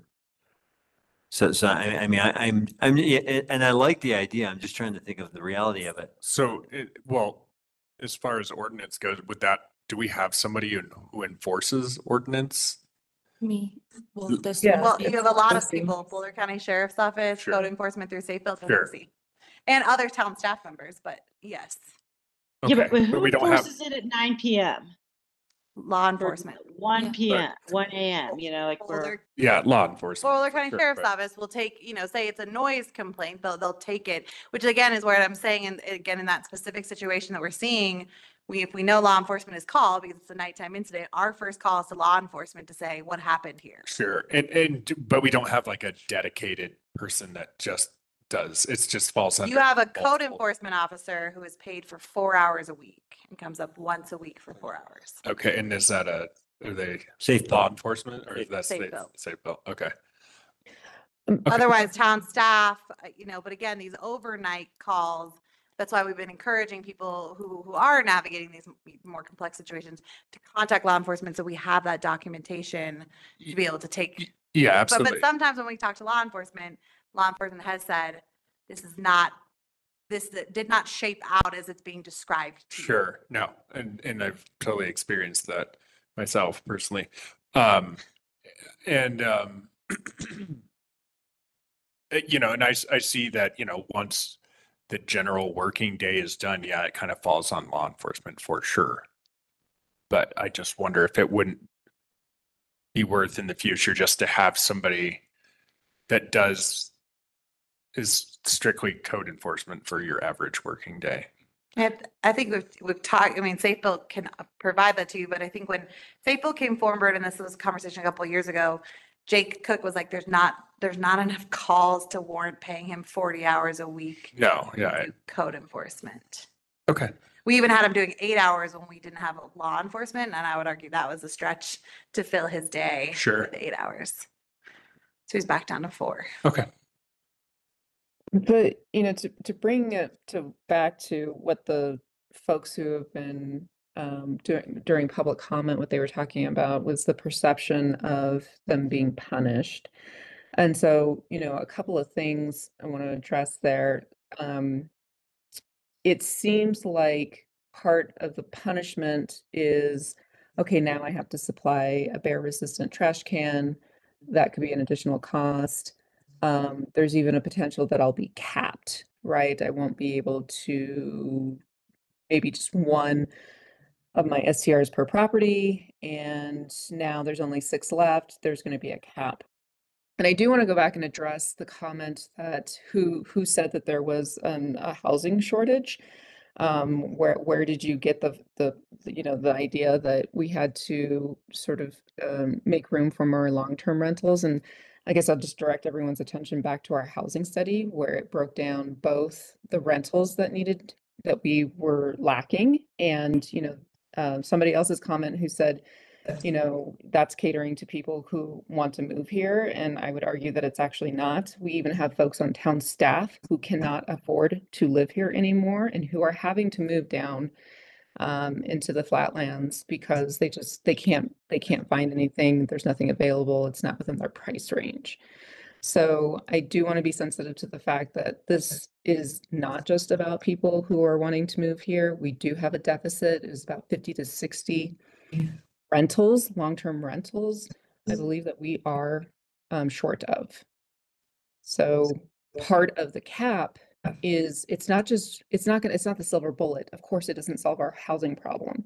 But it is one tactic of an overall set of tactics to hopefully just drive increases in the availability. Mm-hmm.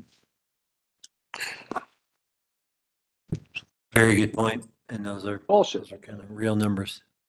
Yeah, and that's, I mean, Nicole, that dovetails into one of my other points of, you know, I, I- mean, the cap is definitely one way to do it and potentially the most effective. Um, but I do wonder if there's some way of trying to come up with a simple way to delineate STRs that, like I was saying before, that could be, because there's a lot of people who run STRs that, I mean, they just would never be a suitable uh, long-term rental property. Um, and if we could find some way to simply uh, delineate between properties that could be full-time rentals and properties that could not be, and keep our cap on the ones that could be full-time rentals, and that units that were not viable full-time rentals could either be held to a higher cap or not capped. Thanks, Luke. Who determines that?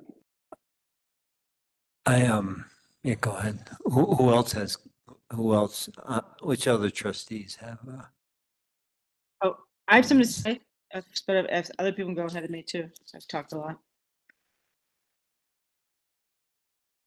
Um, first, I'd like the Class C to stay the way it is. I, I don't think simplifying is the way to go, unfortunately.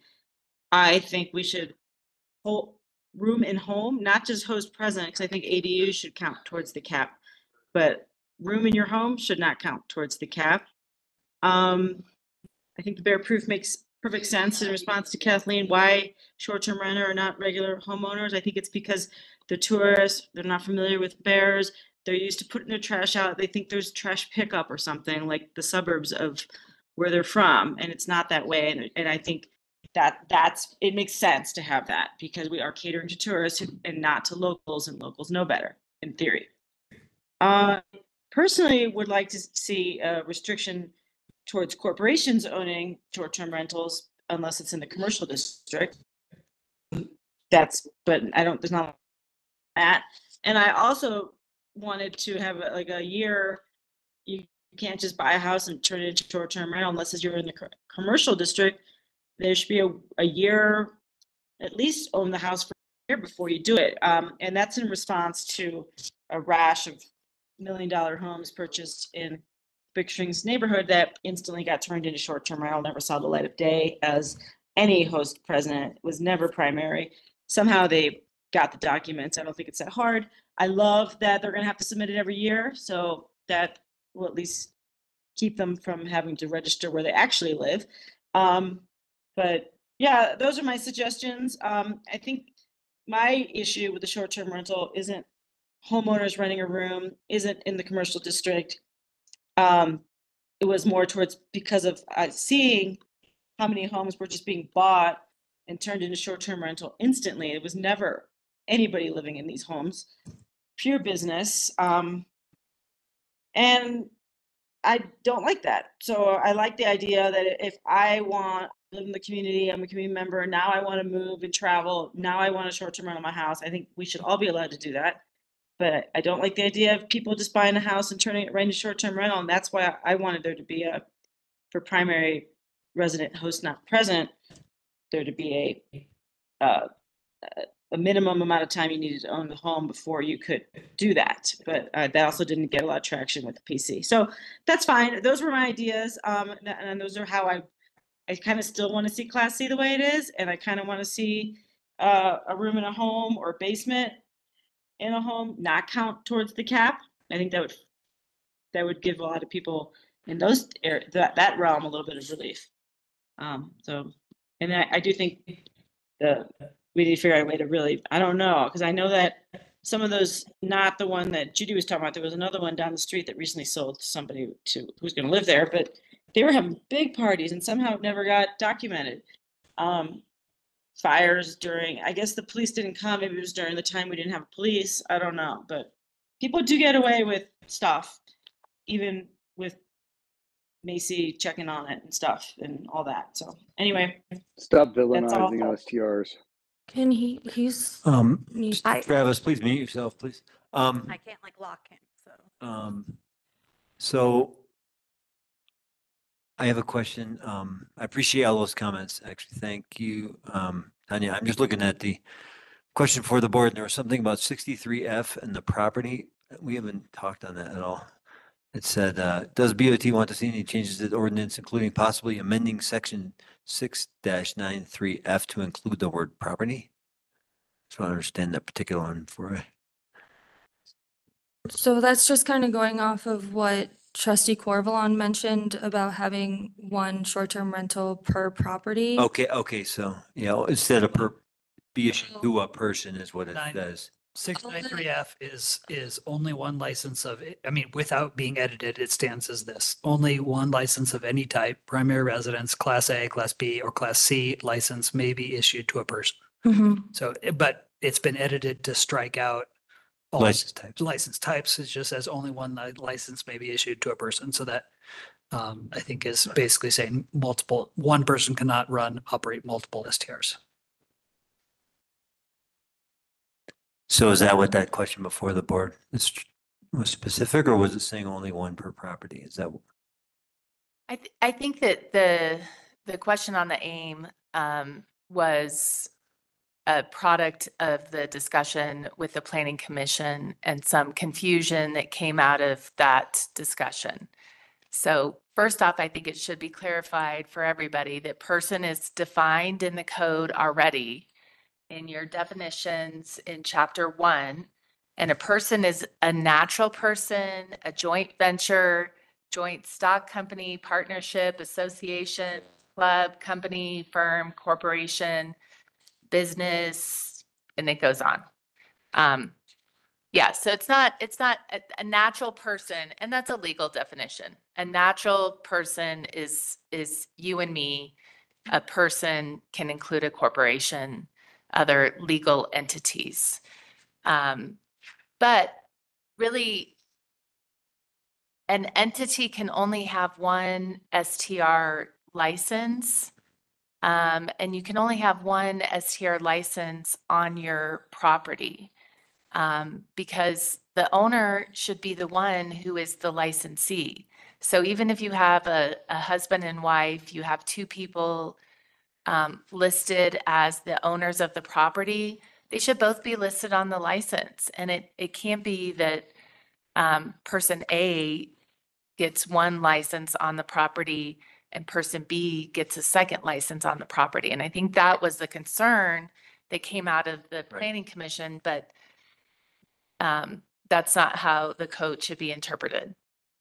Right, so, so, the so really the property, so you- what you're kind of saying is that isn't necessary. Right, right.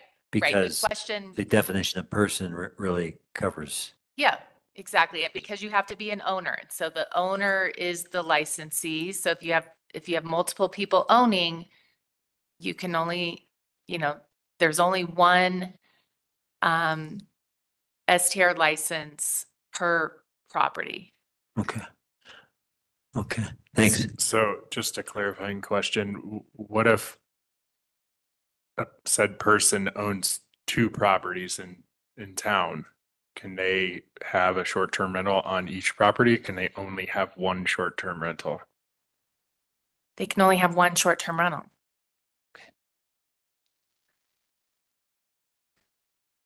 Thanks. What other comments and questions from the, Uh, just, just a clarifying question. So, um, this would say, uh, um, only owner occupied residences can get an STR license, right? We, we're not going to do, Correct. That, that's the way that the draft is written in front of you. Yeah, Not, but not that it would be owner occupied, right. but that the primary, the primary, the owner would prove primary residency and the Yes. owner would obtain the license. but primary residency at that address. Yes. Right, mm-hmm. so like it, it- it works if you have a detached prop rental, but not if you are gonna rent out the entire house and live somewhere else. Yes.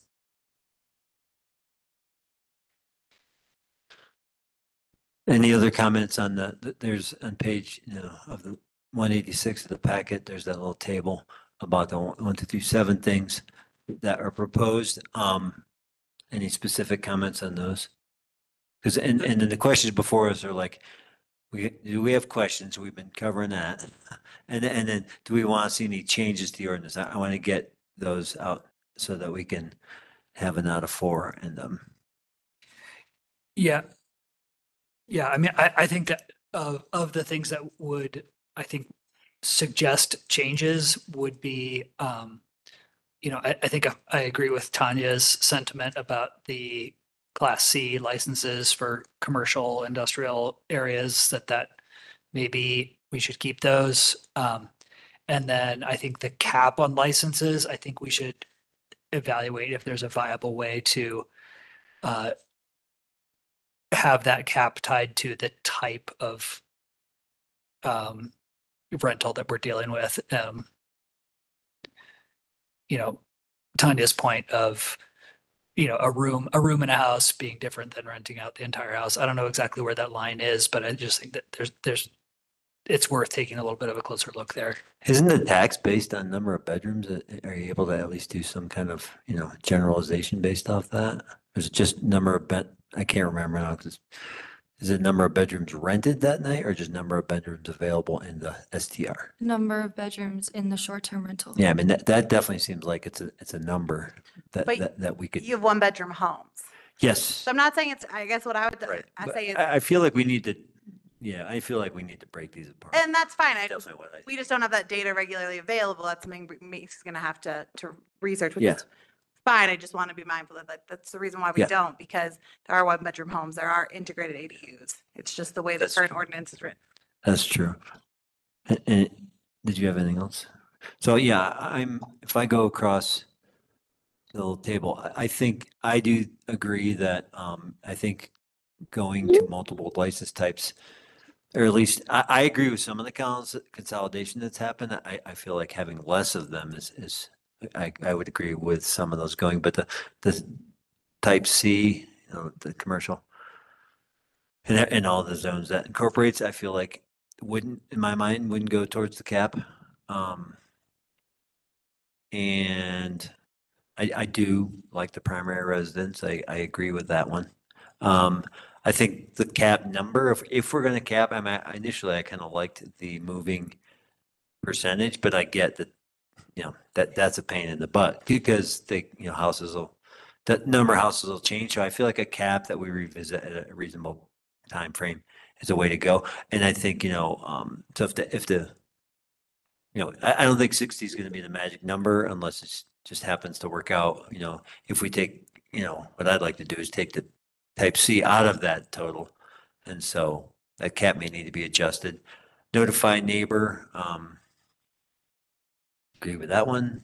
I definitely agree with barefoot, bear-proof containers and fire bans. I feel like that's reasonable to ask. And like Tanya said, it's, um, a lot of people come here just don't, you know, don't, don't have bears in, in their world. And so they don't think about it. So I think that's a reasonable thing for folks to have, you know, if they don't already, like Andrew said, I mean, a lot of us, uh, hopefully already think about that long before we think about an STR.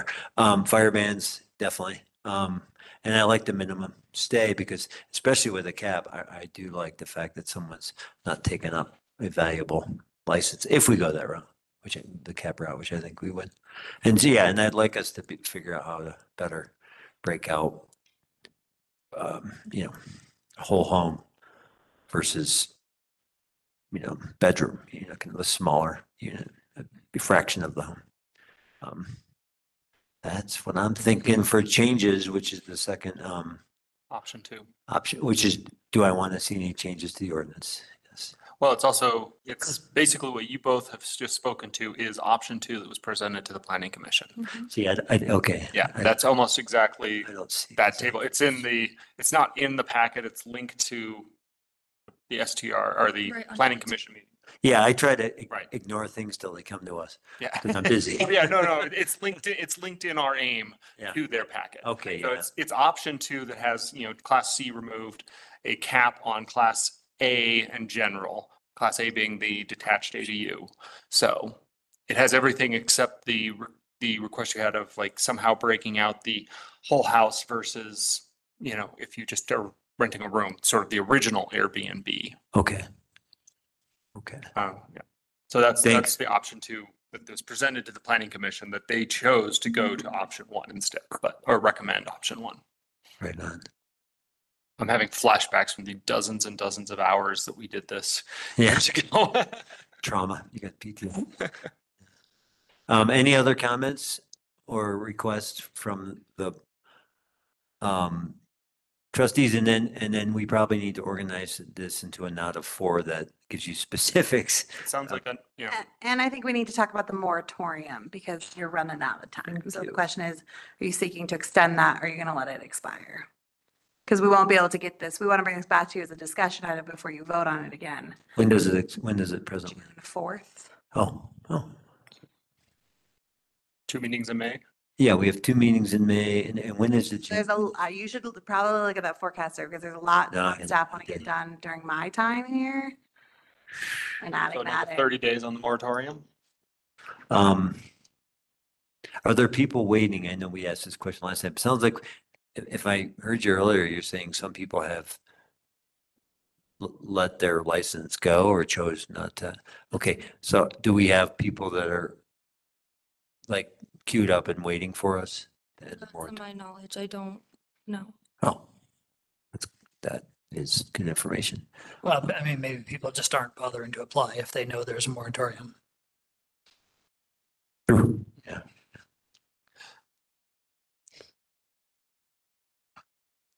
I propose, Because you're right, I, I, I am just thinking through, I mean, the May, the two May meetings, which, you know, I, I wanted, I wanted to jam more stuff, and that's not gonna happen. We're probably gonna have to take step off.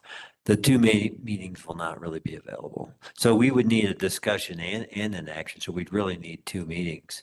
if we- And, if we and plan thirty days, thirty days. unless you want to make the short-term rental um, license an emergency ordinance as well. So you need So we- thirty days after publication for it to be effective. We really need two months. Yeah. Yeah. Okay. I- I am, so that would be, an- that's not as simple as us giving a not a four, is it? That- No, you have to bring it back a moratorium ordinance, which we could do, May seventh, yes. okay. Thirty or sixty day oh, extension. I'm not seeing option two easily. I'm in the aim and all I I'm see not, I'm not option- either, I was looking for it. so- but- So I- on the aim in your It would be packet, nice, if- under, yeah. Under Yeah. that table with all the licensing requirements, that little Oh. uh, table with the, See, there's a link under there to see the Yeah, with the other portal options. meeting information, that one would see, to see Oh, the I two. And then ordinances It'll proposed. take, it'll take you to nederlandco.org. It'll take you to the planning commission under discussion items, seven point one, license options breakdown. Yeah, it was, And then there's a new table that, that'll open so, that so has four options. just, just sec, s- just to make sure you're, so on page one eighty-six of the present wor- packet that we're working off see of, right in the middle of the page is the blue link below the table. Hit that. Yeah, And after okay. you, after you've hit that, you come, you, you know, you go to a net page, you know, with Civic, whatever it's called. a- And, um, um, you get the old aim from the, I just lost the freaking thing. Wh- wh- Um, Not only is there an aim, there's actually a table. Yeah, it's seven point one. there- there we go. License options breakdown. th- yeah, then, then you get to a name and then, yeah, uh, you go to seven point one discussion item and then options breakdown, so.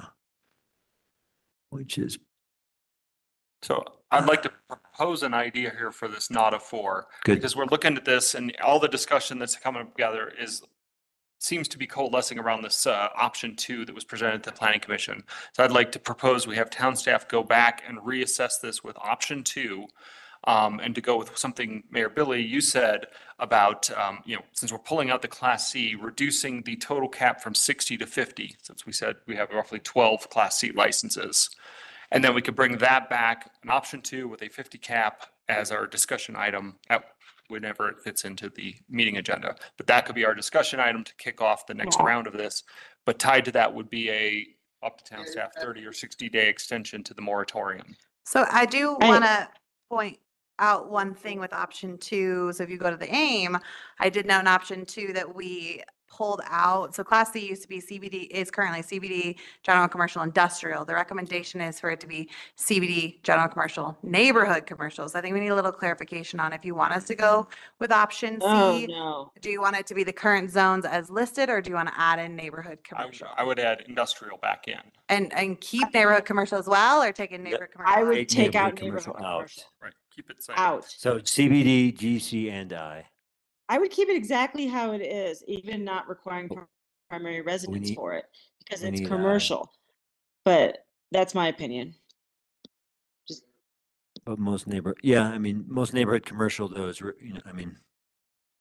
tends to Take look out neighborhood Neighborhood, if you drive down the road, look at the buildings, more neighborhood Yeah, than no, commercial. that, that, that, that, that should be included in the sixty total, in my opinion, the NC, but, uh, however it is now, I think is working good for So- commercial. So, yeah, what Class what C. I'd recommend is class C is CBD, GC and I.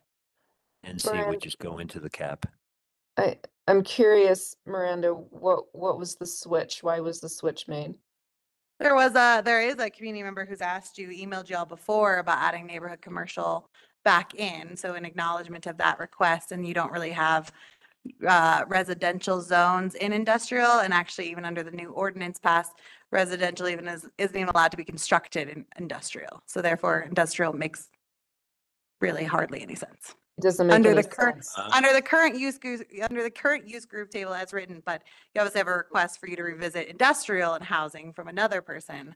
Um, but currently, there's just no, it, it just doesn't make any sense. So Under then current. what- Well, so then Do I'm we consider curious. someone How, else so how is that happening, I that's under guess? And we'll contract for that ask you- property? Or no, so I, I can't. Travis, you need to, Yeah, I can't mute, if I mute everybody on here, it will mute Nicole and, yeah, so. Um, there are no industrial zoned short-term rentals, are there? I don't think so. So Travis, why Yes, Travis I Brox. own industrial. Travis Brox, Travis, yeah. okay. Travis, So th- you there need to is. stop talking. please. Um, Um, can, wh- what are the areas that are neighborhood commercial? I mean, what- Um, what's the most of there? Third Street is neighborhood commercial. parts of Dyers or, you know, the lower, what- Yeah. isn't that, that lower around Third? No, yeah, First and Second Street, First and Second Street. that's, yeah, That uh, First and second is, is CBD. well, you've No, got, no, the- no, you've got east- neighborhood on commercial east. under, yeah, to, to Trustee Corvallis point, Third Street, Second Street is neighborhood commercial on the north side. So wait, so can I ask, um, Chris, why did, why were you advocating to have industrial in there? What was your reasoning for that? My sole reason was because we have the one person who we've heard from tonight who has a s- STR that he's doing in industrial. It's the one house, I think it's like the one house in industrial. That's, that's, was my reason too. But w- I'm so sorry, did I mishear you before, Miranda? We, we, so we do have obviously one in Oh, I, industrial. I don't know, I don't do, yeah, sorry, I don't, I'm just answering, I really was asking, looking at Macy, asking for confirmation. Okay. So we do, let, let, let's just, I I'm mean, just, I just generally, you don't really have housing stock in industrial. right, Right. but we have a STR in Exactly. industrial that's, STR. that's been going on for a while. But So- generally, in terms of kind of where the majority of your housing stock is, is not sitting in industrial. Right. To me, industrial fits more neatly into the class C bucket than any other bucket. And, and it's happening, so I don't see why we wouldn't just put it there. Um, we'll be looking at that code probably soon enough. Um, that's my, that's what I'll nod on, on the class Yeah, C. and I think as far as the neighborhood commercial, that per- person who wrote, I think they might be just happy to know that there's no longer a limitation on how many days you can rent it. Now we have unlimited days. It's not half the year anymore for owner unoccupied short-term rentals. So I think that might have been the main issue for them. Um, so I don't think they should be included with Class C. I agree. Because they're they're gonna get three sixty-five days a year of short-term rental if they get one of those 50, 60 licenses, so. But are, are we saying that we are not doing owner unoccupied? Like, Uh, Yes. No, we have unoccupied, that's. Y- No, no, we, we are saying, um, Tanya, if you look at the table, whether it's the one on the present aim or an option to the primary residence is still yes, a- a- and, and that's what I'll nod on. I, I think the primary residence is a yes, um, for all those classes. Uh, class C, the only thing I'm kind of going off what you know, just kind of paraphrasing what Chris said earlier, like we're looking at option two, but we would look at class C and then, and, and ide- identify CBD, GC and I. And this is going to come back as a discussion item, but I think it gets us a lot closer to what we're Yeah, yeah, after. And I bring it want to have time now to mm-hmm. talk about the moratorium extension or lack thereof, so. Mayor Billy, could you ask on each of those if we have a not a four? Okay, um, um, for, so yeah, I'm looking for a not a four on option two, which is up on the screen here. Um, the changes being that, I'll just start with the first column. Class C would be redefined as CBD, GC, and I, industrial. Um, and then column three there, we would drop the sixty total between class A and general to fifty. Uh, In both, um, class A and general, we would drop the cap to fifty. Can I actually offer clarification? though? I guess I'm a little confused because I think there was a desire for the bedroom. And if you're going to go with option two, we're not looking at someone who's just renting out a bedroom. Right. That's a separate thing. So that's not a general I STI. don't think you totally like option two. If I'm hearing you correctly, I think you, what? Oh, Oh, that you, you want us to come back with maybe options that include the bedroom. Yes, that would the actually be bedroom awesome. Not being a part of the total count, because that is owner So occupancy. a fourth, a fourth row, Do you want the detached ADU as its own thing, or is it just class C, general STR, and then like owner, you know, owner Oh. present STR? De- detached ADU and, and, and bedroom. I hate to say, it's probably a better way of saying it, but like. i- i- So do in- you want detached ADUs to not be a part of your fifty count? I don't think, I, I'm not hearing any conversation about detached ADUs. You're right. I No, think Well, I think they that could count be as a a regular discussion home. item for the next time, you know, kind Yeah. of like, come back with a TBD. I- But, I- but I may- like maybe, to- maybe add, go ahead and add a fourth row of, of bedroom, you know, we'll call it, and you, you can define it better. With, you know, yes, primary residence, no to cap, yes, notify neighbor. uh, Yes, bear proof and yes, fire ban. I guess we can discuss those more later. And then yes to them, you know, and then minimum of four. So really, uh, you know, just for sake of getting it back for a discussion item, add a fourth row bedroom, and the only thing that would be different, you know, is the name is bedroom and the, um, there'd be no in the cap column. I'm just gonna add a quick note here about the definition of bedroom. Um, Yeah, s- yeah, I mean, We get, we get pretty messy there. I mean, I've seen people convert, uh, all kinds of things to something they would call a bedroom.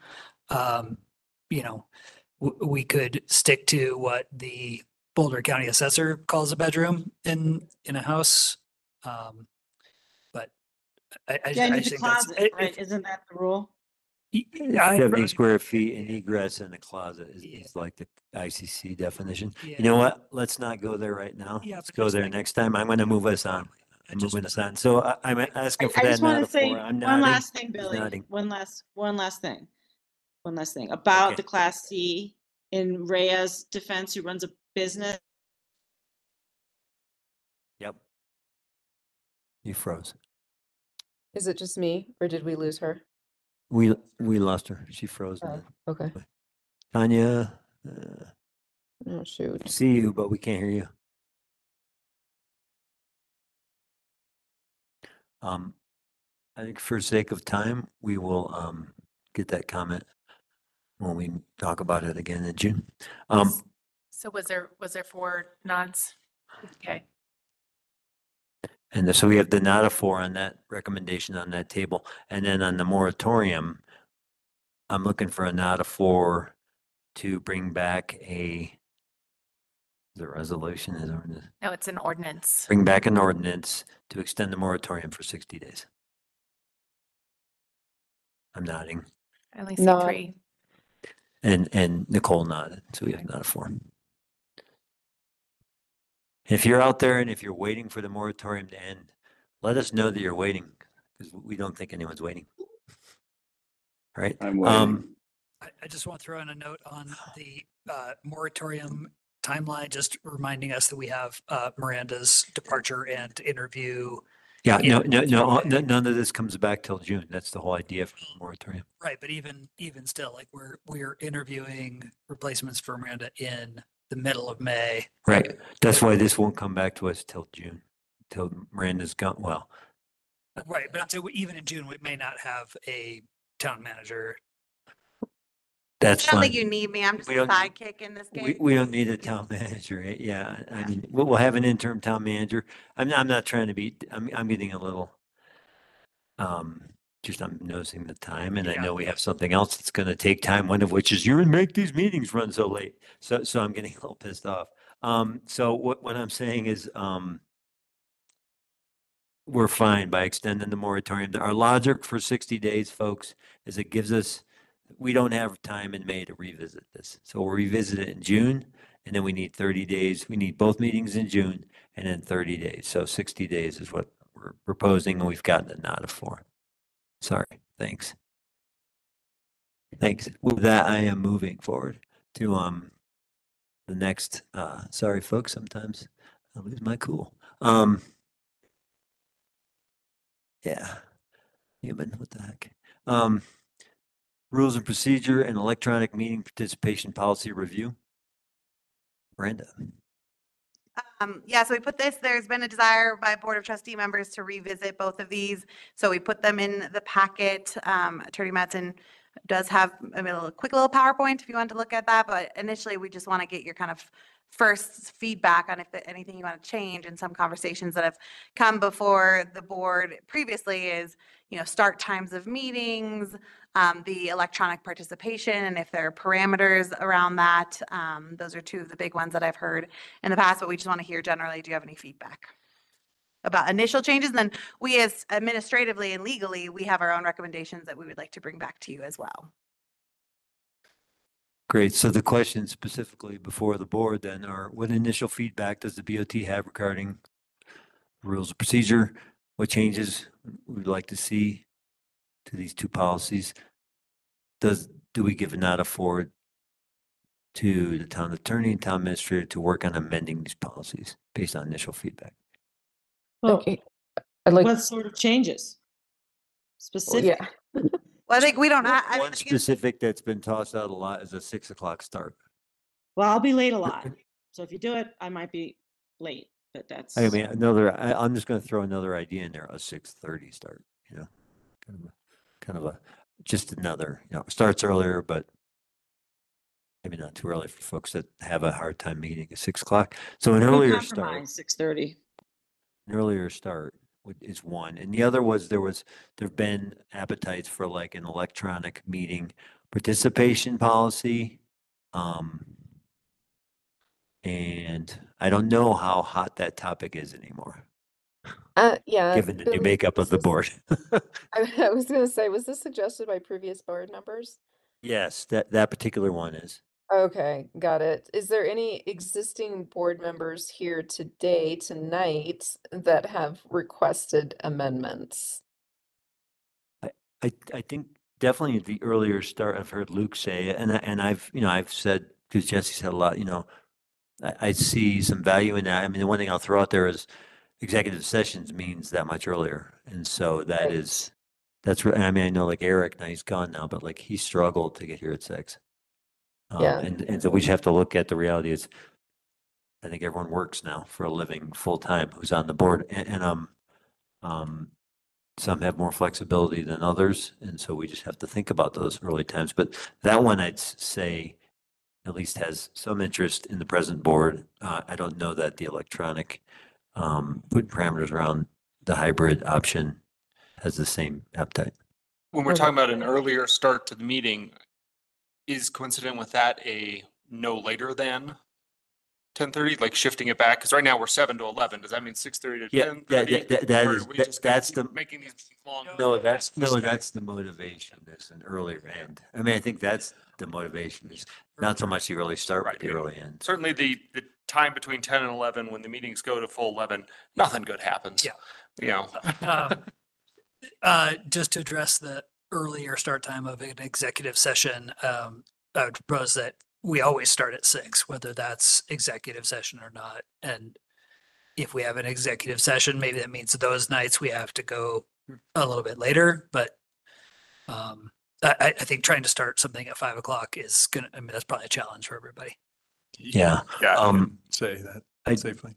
Okay, no, and I- I think that's an interesting idea. I guess just the Miranda and, and just gonna bring it back to town and folks who've been in meetings longer than any of us have, um, except for maybe Chris, um, that, uh, does that mess with the general public to have two potential different start times? Variable start, like, is that gonna be hard for folks who show up at six, say, oh, I didn't know there was an executive, executive session tonight? I mean, that, that would just be the, I mean, it, that would just be the dynamic. I mean, I think it's hard to say. I think you see it now, like we publish, that meeting started at six and a whole bunch of people jump on, then we have to kick them off. So when you go into executive session, so. I mean, we try to make it clear on the agendas, but I, I really can't answer that question. I don't really have a sense. And I also would say that a lot of people attend virtually these days. Yeah. Yeah, and I think virtually is a nice option because I, I travel for work. Chris travels for work, Nikki travels for work, um, and others probably do. And, and, and, and just being able to be on the meeting really is great. you know. I- I just a question on the virtual participation thing. So that if I'm reading this, what's in our current um, policy right now, it's just during times of emergency. Is that really what that says? Well, and I'm looking on page. So we adopted that during COVID and I don't believe we, um,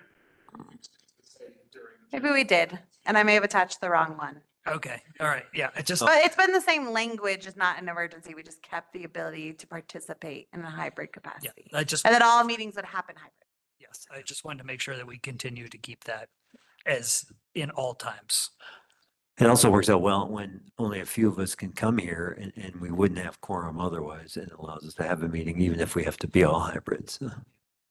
So Yeah, maybe that's something to add for the new people, the new trustees, is that we only set up this room is that at least four of you can be in this room because this is a lot of work. And so that's why when Macy asks you, you know, are you virtual in person? It's really important for us to know. And if you're going to flip, if you say in person and you flip to virtual, let us know immediately because if we can convert to an all virtual meeting to save this setup, we'd like to do that. I just want to jump in with a, a three-minute warning. Okay, um, I'm going to go ahead only for the sake, I think we'll be done with this discussion by ten, but I want to make sure I see some names on here and wonder. Uh, I want to allow for time for non-public comment on non-agenda items. Um, yes, and, and, um, so I will, uh, make a motion to extend the meeting, and I'm just putting a buffer here to ten fifteen. Second. Thank you. Macy? I don't think it'll go that long, but I want to have it. Trustee Corvalon, Yes. trustee Miller, Yes. trustee Ty, Yes. uh, Mayor Pro Tem Sterling, Yes. Mayor Billy. Yes. And trustee Larson. Yes. Thank you. Thank you, everyone. Okay, um, go ahead with whoever was just talking. Um, hey, Someone was, someone that was made a comment right before Macy. Um, okay, are there, I guess, are there any other rules? Or, You know, one, one thing I'll just, I wanted to tell folks who are new to the board, and especially Chris, because you were on it before, um, we just do this thing where, you know, we'll have a motion in a second, and then this is something we started doing about a year or so ago. We'll ask, we'll just make sure I say any more discussion because we've rail, you know, we were railroading over some things where people didn't feel like they were done talking. And so that's just one thing we're doing and I think it's working. Um, So that's all. Yes, it's working. Yep. It's been working. Um, yes, One other thing that we had talked about previously was potentially considering Bob's Rules of Order instead of Robert's Rules of Order. Um, yes, And I, I think that that would help a lot with meeting efficiency. Yep. Um, so just a, a suggestion. yeah, they're, reminder. they're basically Bob Widner.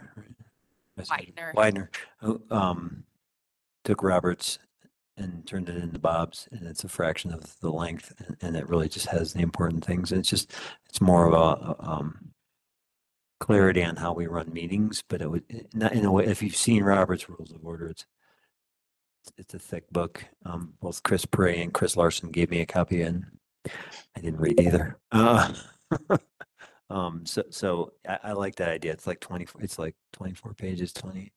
It's a little bit longer than that, but the rules themselves are very short. Yeah. It's ea- easy to digest and, um, you know, I can tell you, I can, I can promise you, we don't follow Robert's Rules of Orders. So if, if you adopted Bob's, there's a better likelihood that we'd follow Bob's Rules of Order. Yep. Do we have that here in the package, Bob's Rules of Order? It's or no? not, um, I can send it out to you all. Um, yeah. Yeah, please do. Thank you. Are there any other, um? and I Someone am had their gonna hand raised. Yeah, I'm gonna, I'm gonna open up for comments on, on this rules of procedure. And then I, just so everyone knows, I am also gonna have time for comment on non-agenda items. So if anyone has a comment on rules of procedure and electronic meeting participation policy review, now's the time. There's no one in the room, so for, just for folks online.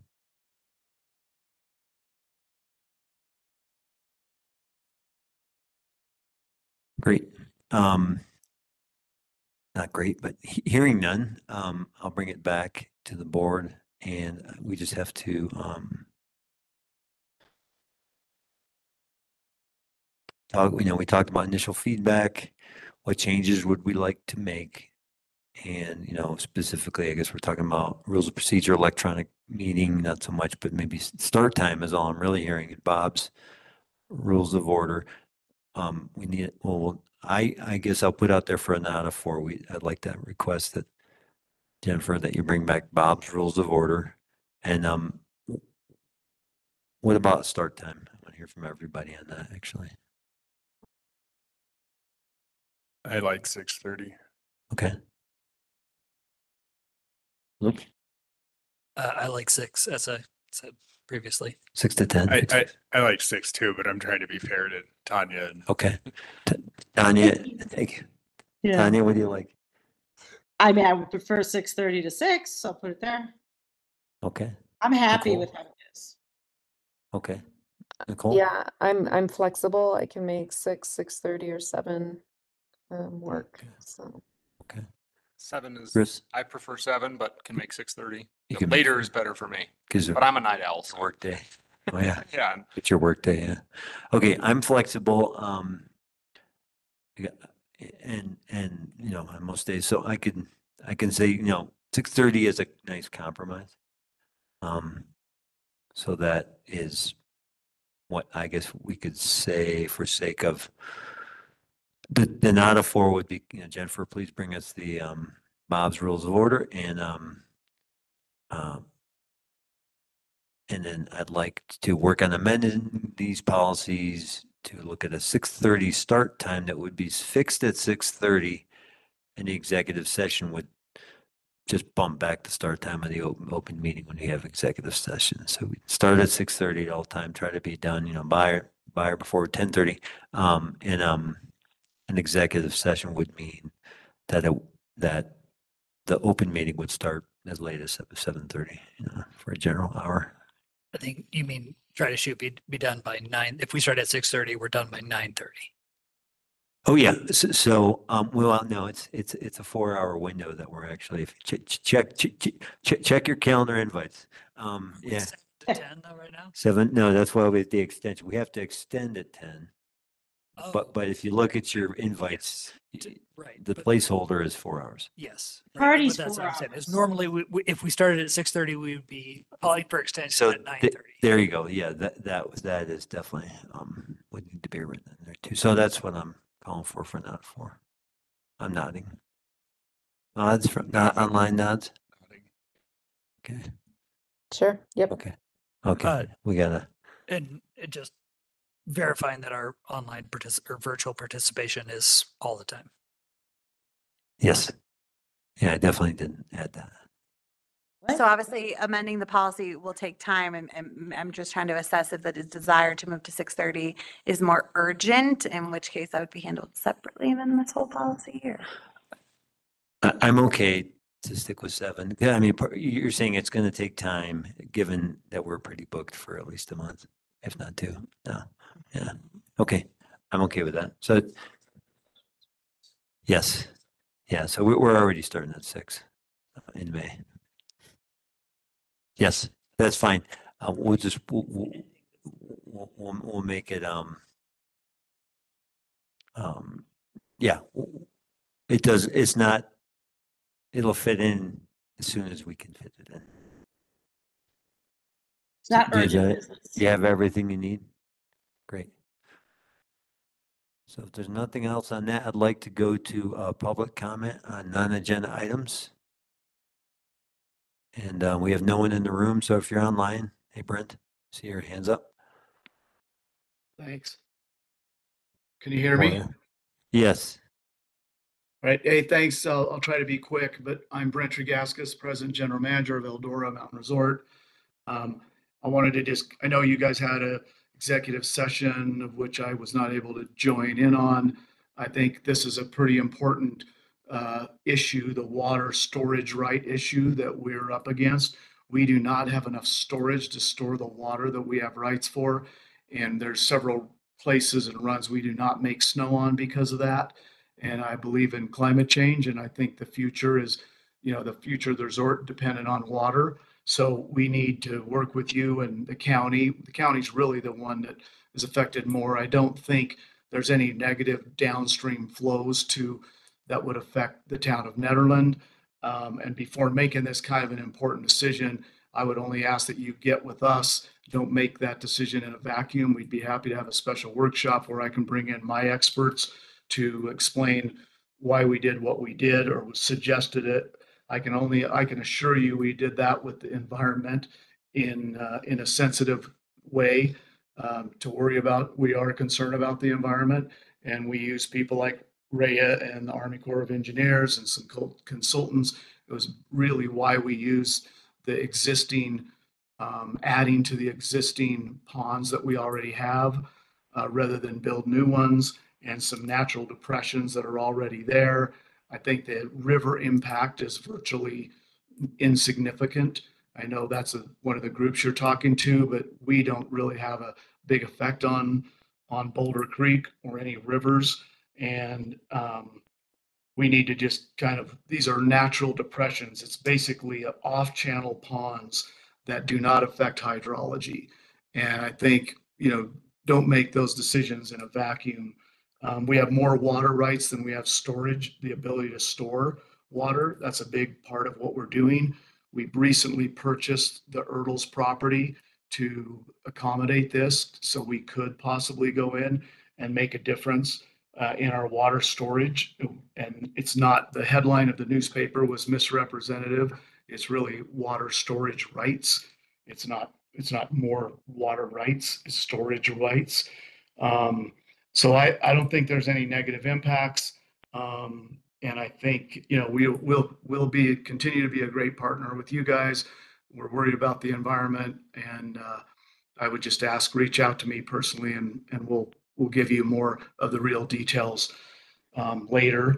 And then with that, I just want to hand, uh, do a big, uh, uh, handoff or a, a thank you to Miranda. She's been absolutely great to work with for a number of years. Uh, I've been around and she's been the easiest um, to work with that I've had in, in the town's uh, time and uh, wish her well. So that's all I have. Thank you. Thanks, Brent. Appreciate your um, comment and, and being patient to give it here at the end. And uh, yes, I think we agree that our relationship with Eldora is very, Eldora ski area is very important and we need to build on it. And, you know, there's definitely a lot of things we will work together on into the future. So thank you. Thanks. Any other public comments on non-agenda items? Do- Can you hear me? Yes. Kathleen Chipai. Um, I just want to talk about time and CORA requests. And I put in a CORA request uh, a week ago for information that was unfulfilled from a previous CORA request months ago, which is how much staff time was spent on netter days last year and this year, and a full that included a full accounting of expenditures for netter days. And that CORA from uh, probably six, four, six months ago has never been fulfilled. Uh, so I re-CORA requested it, and then I CORA requested staff hours projected for this Netter Days event. And I, my response from Macy was that the, they need extra time, so I wouldn't receive my documents until the 22nd of April. And, you know, the citation of Colorado revised statutes that allows for delaying uh, public record. Um, this does.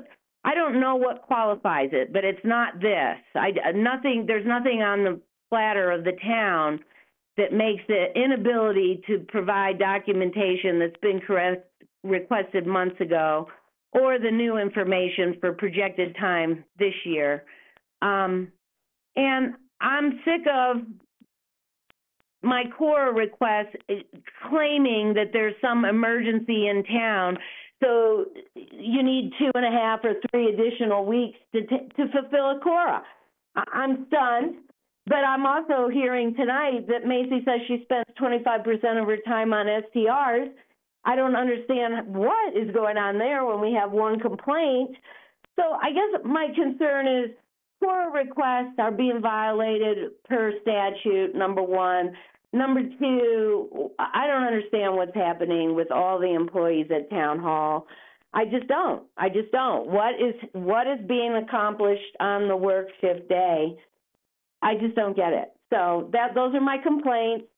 Um, and I, if, if the core things just continually happen, then I'll have to go to municipal court. I don't want to do that. It's just, this is insane to me that the, a full accounting for Netter Days from last year hasn't even, apparently doesn't exist because the extra time, I think, is to create something to give to me. So I don't know what to say, but that is my complaint. I would like CORAs to be, uh, filled in timely manner according to state statute and quit using this. the- Citing the statute doesn't mean it qualifies this, this excuse for needing to take additional time. So I'm bummed out about just basics again. So, thank you. Thanks, Kathleen. Appreciate it. Any other comments on non-agenda items?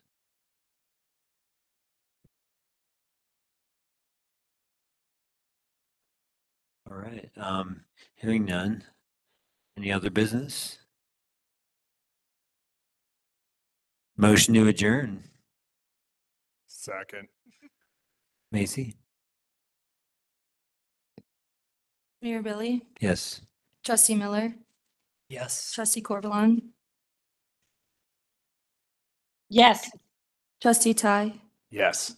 Mayor Pro Tem Sterling, Yes. and trustee Larson. Yes. Okay, thank you. The meeting is adjourned at ten thirteen PM.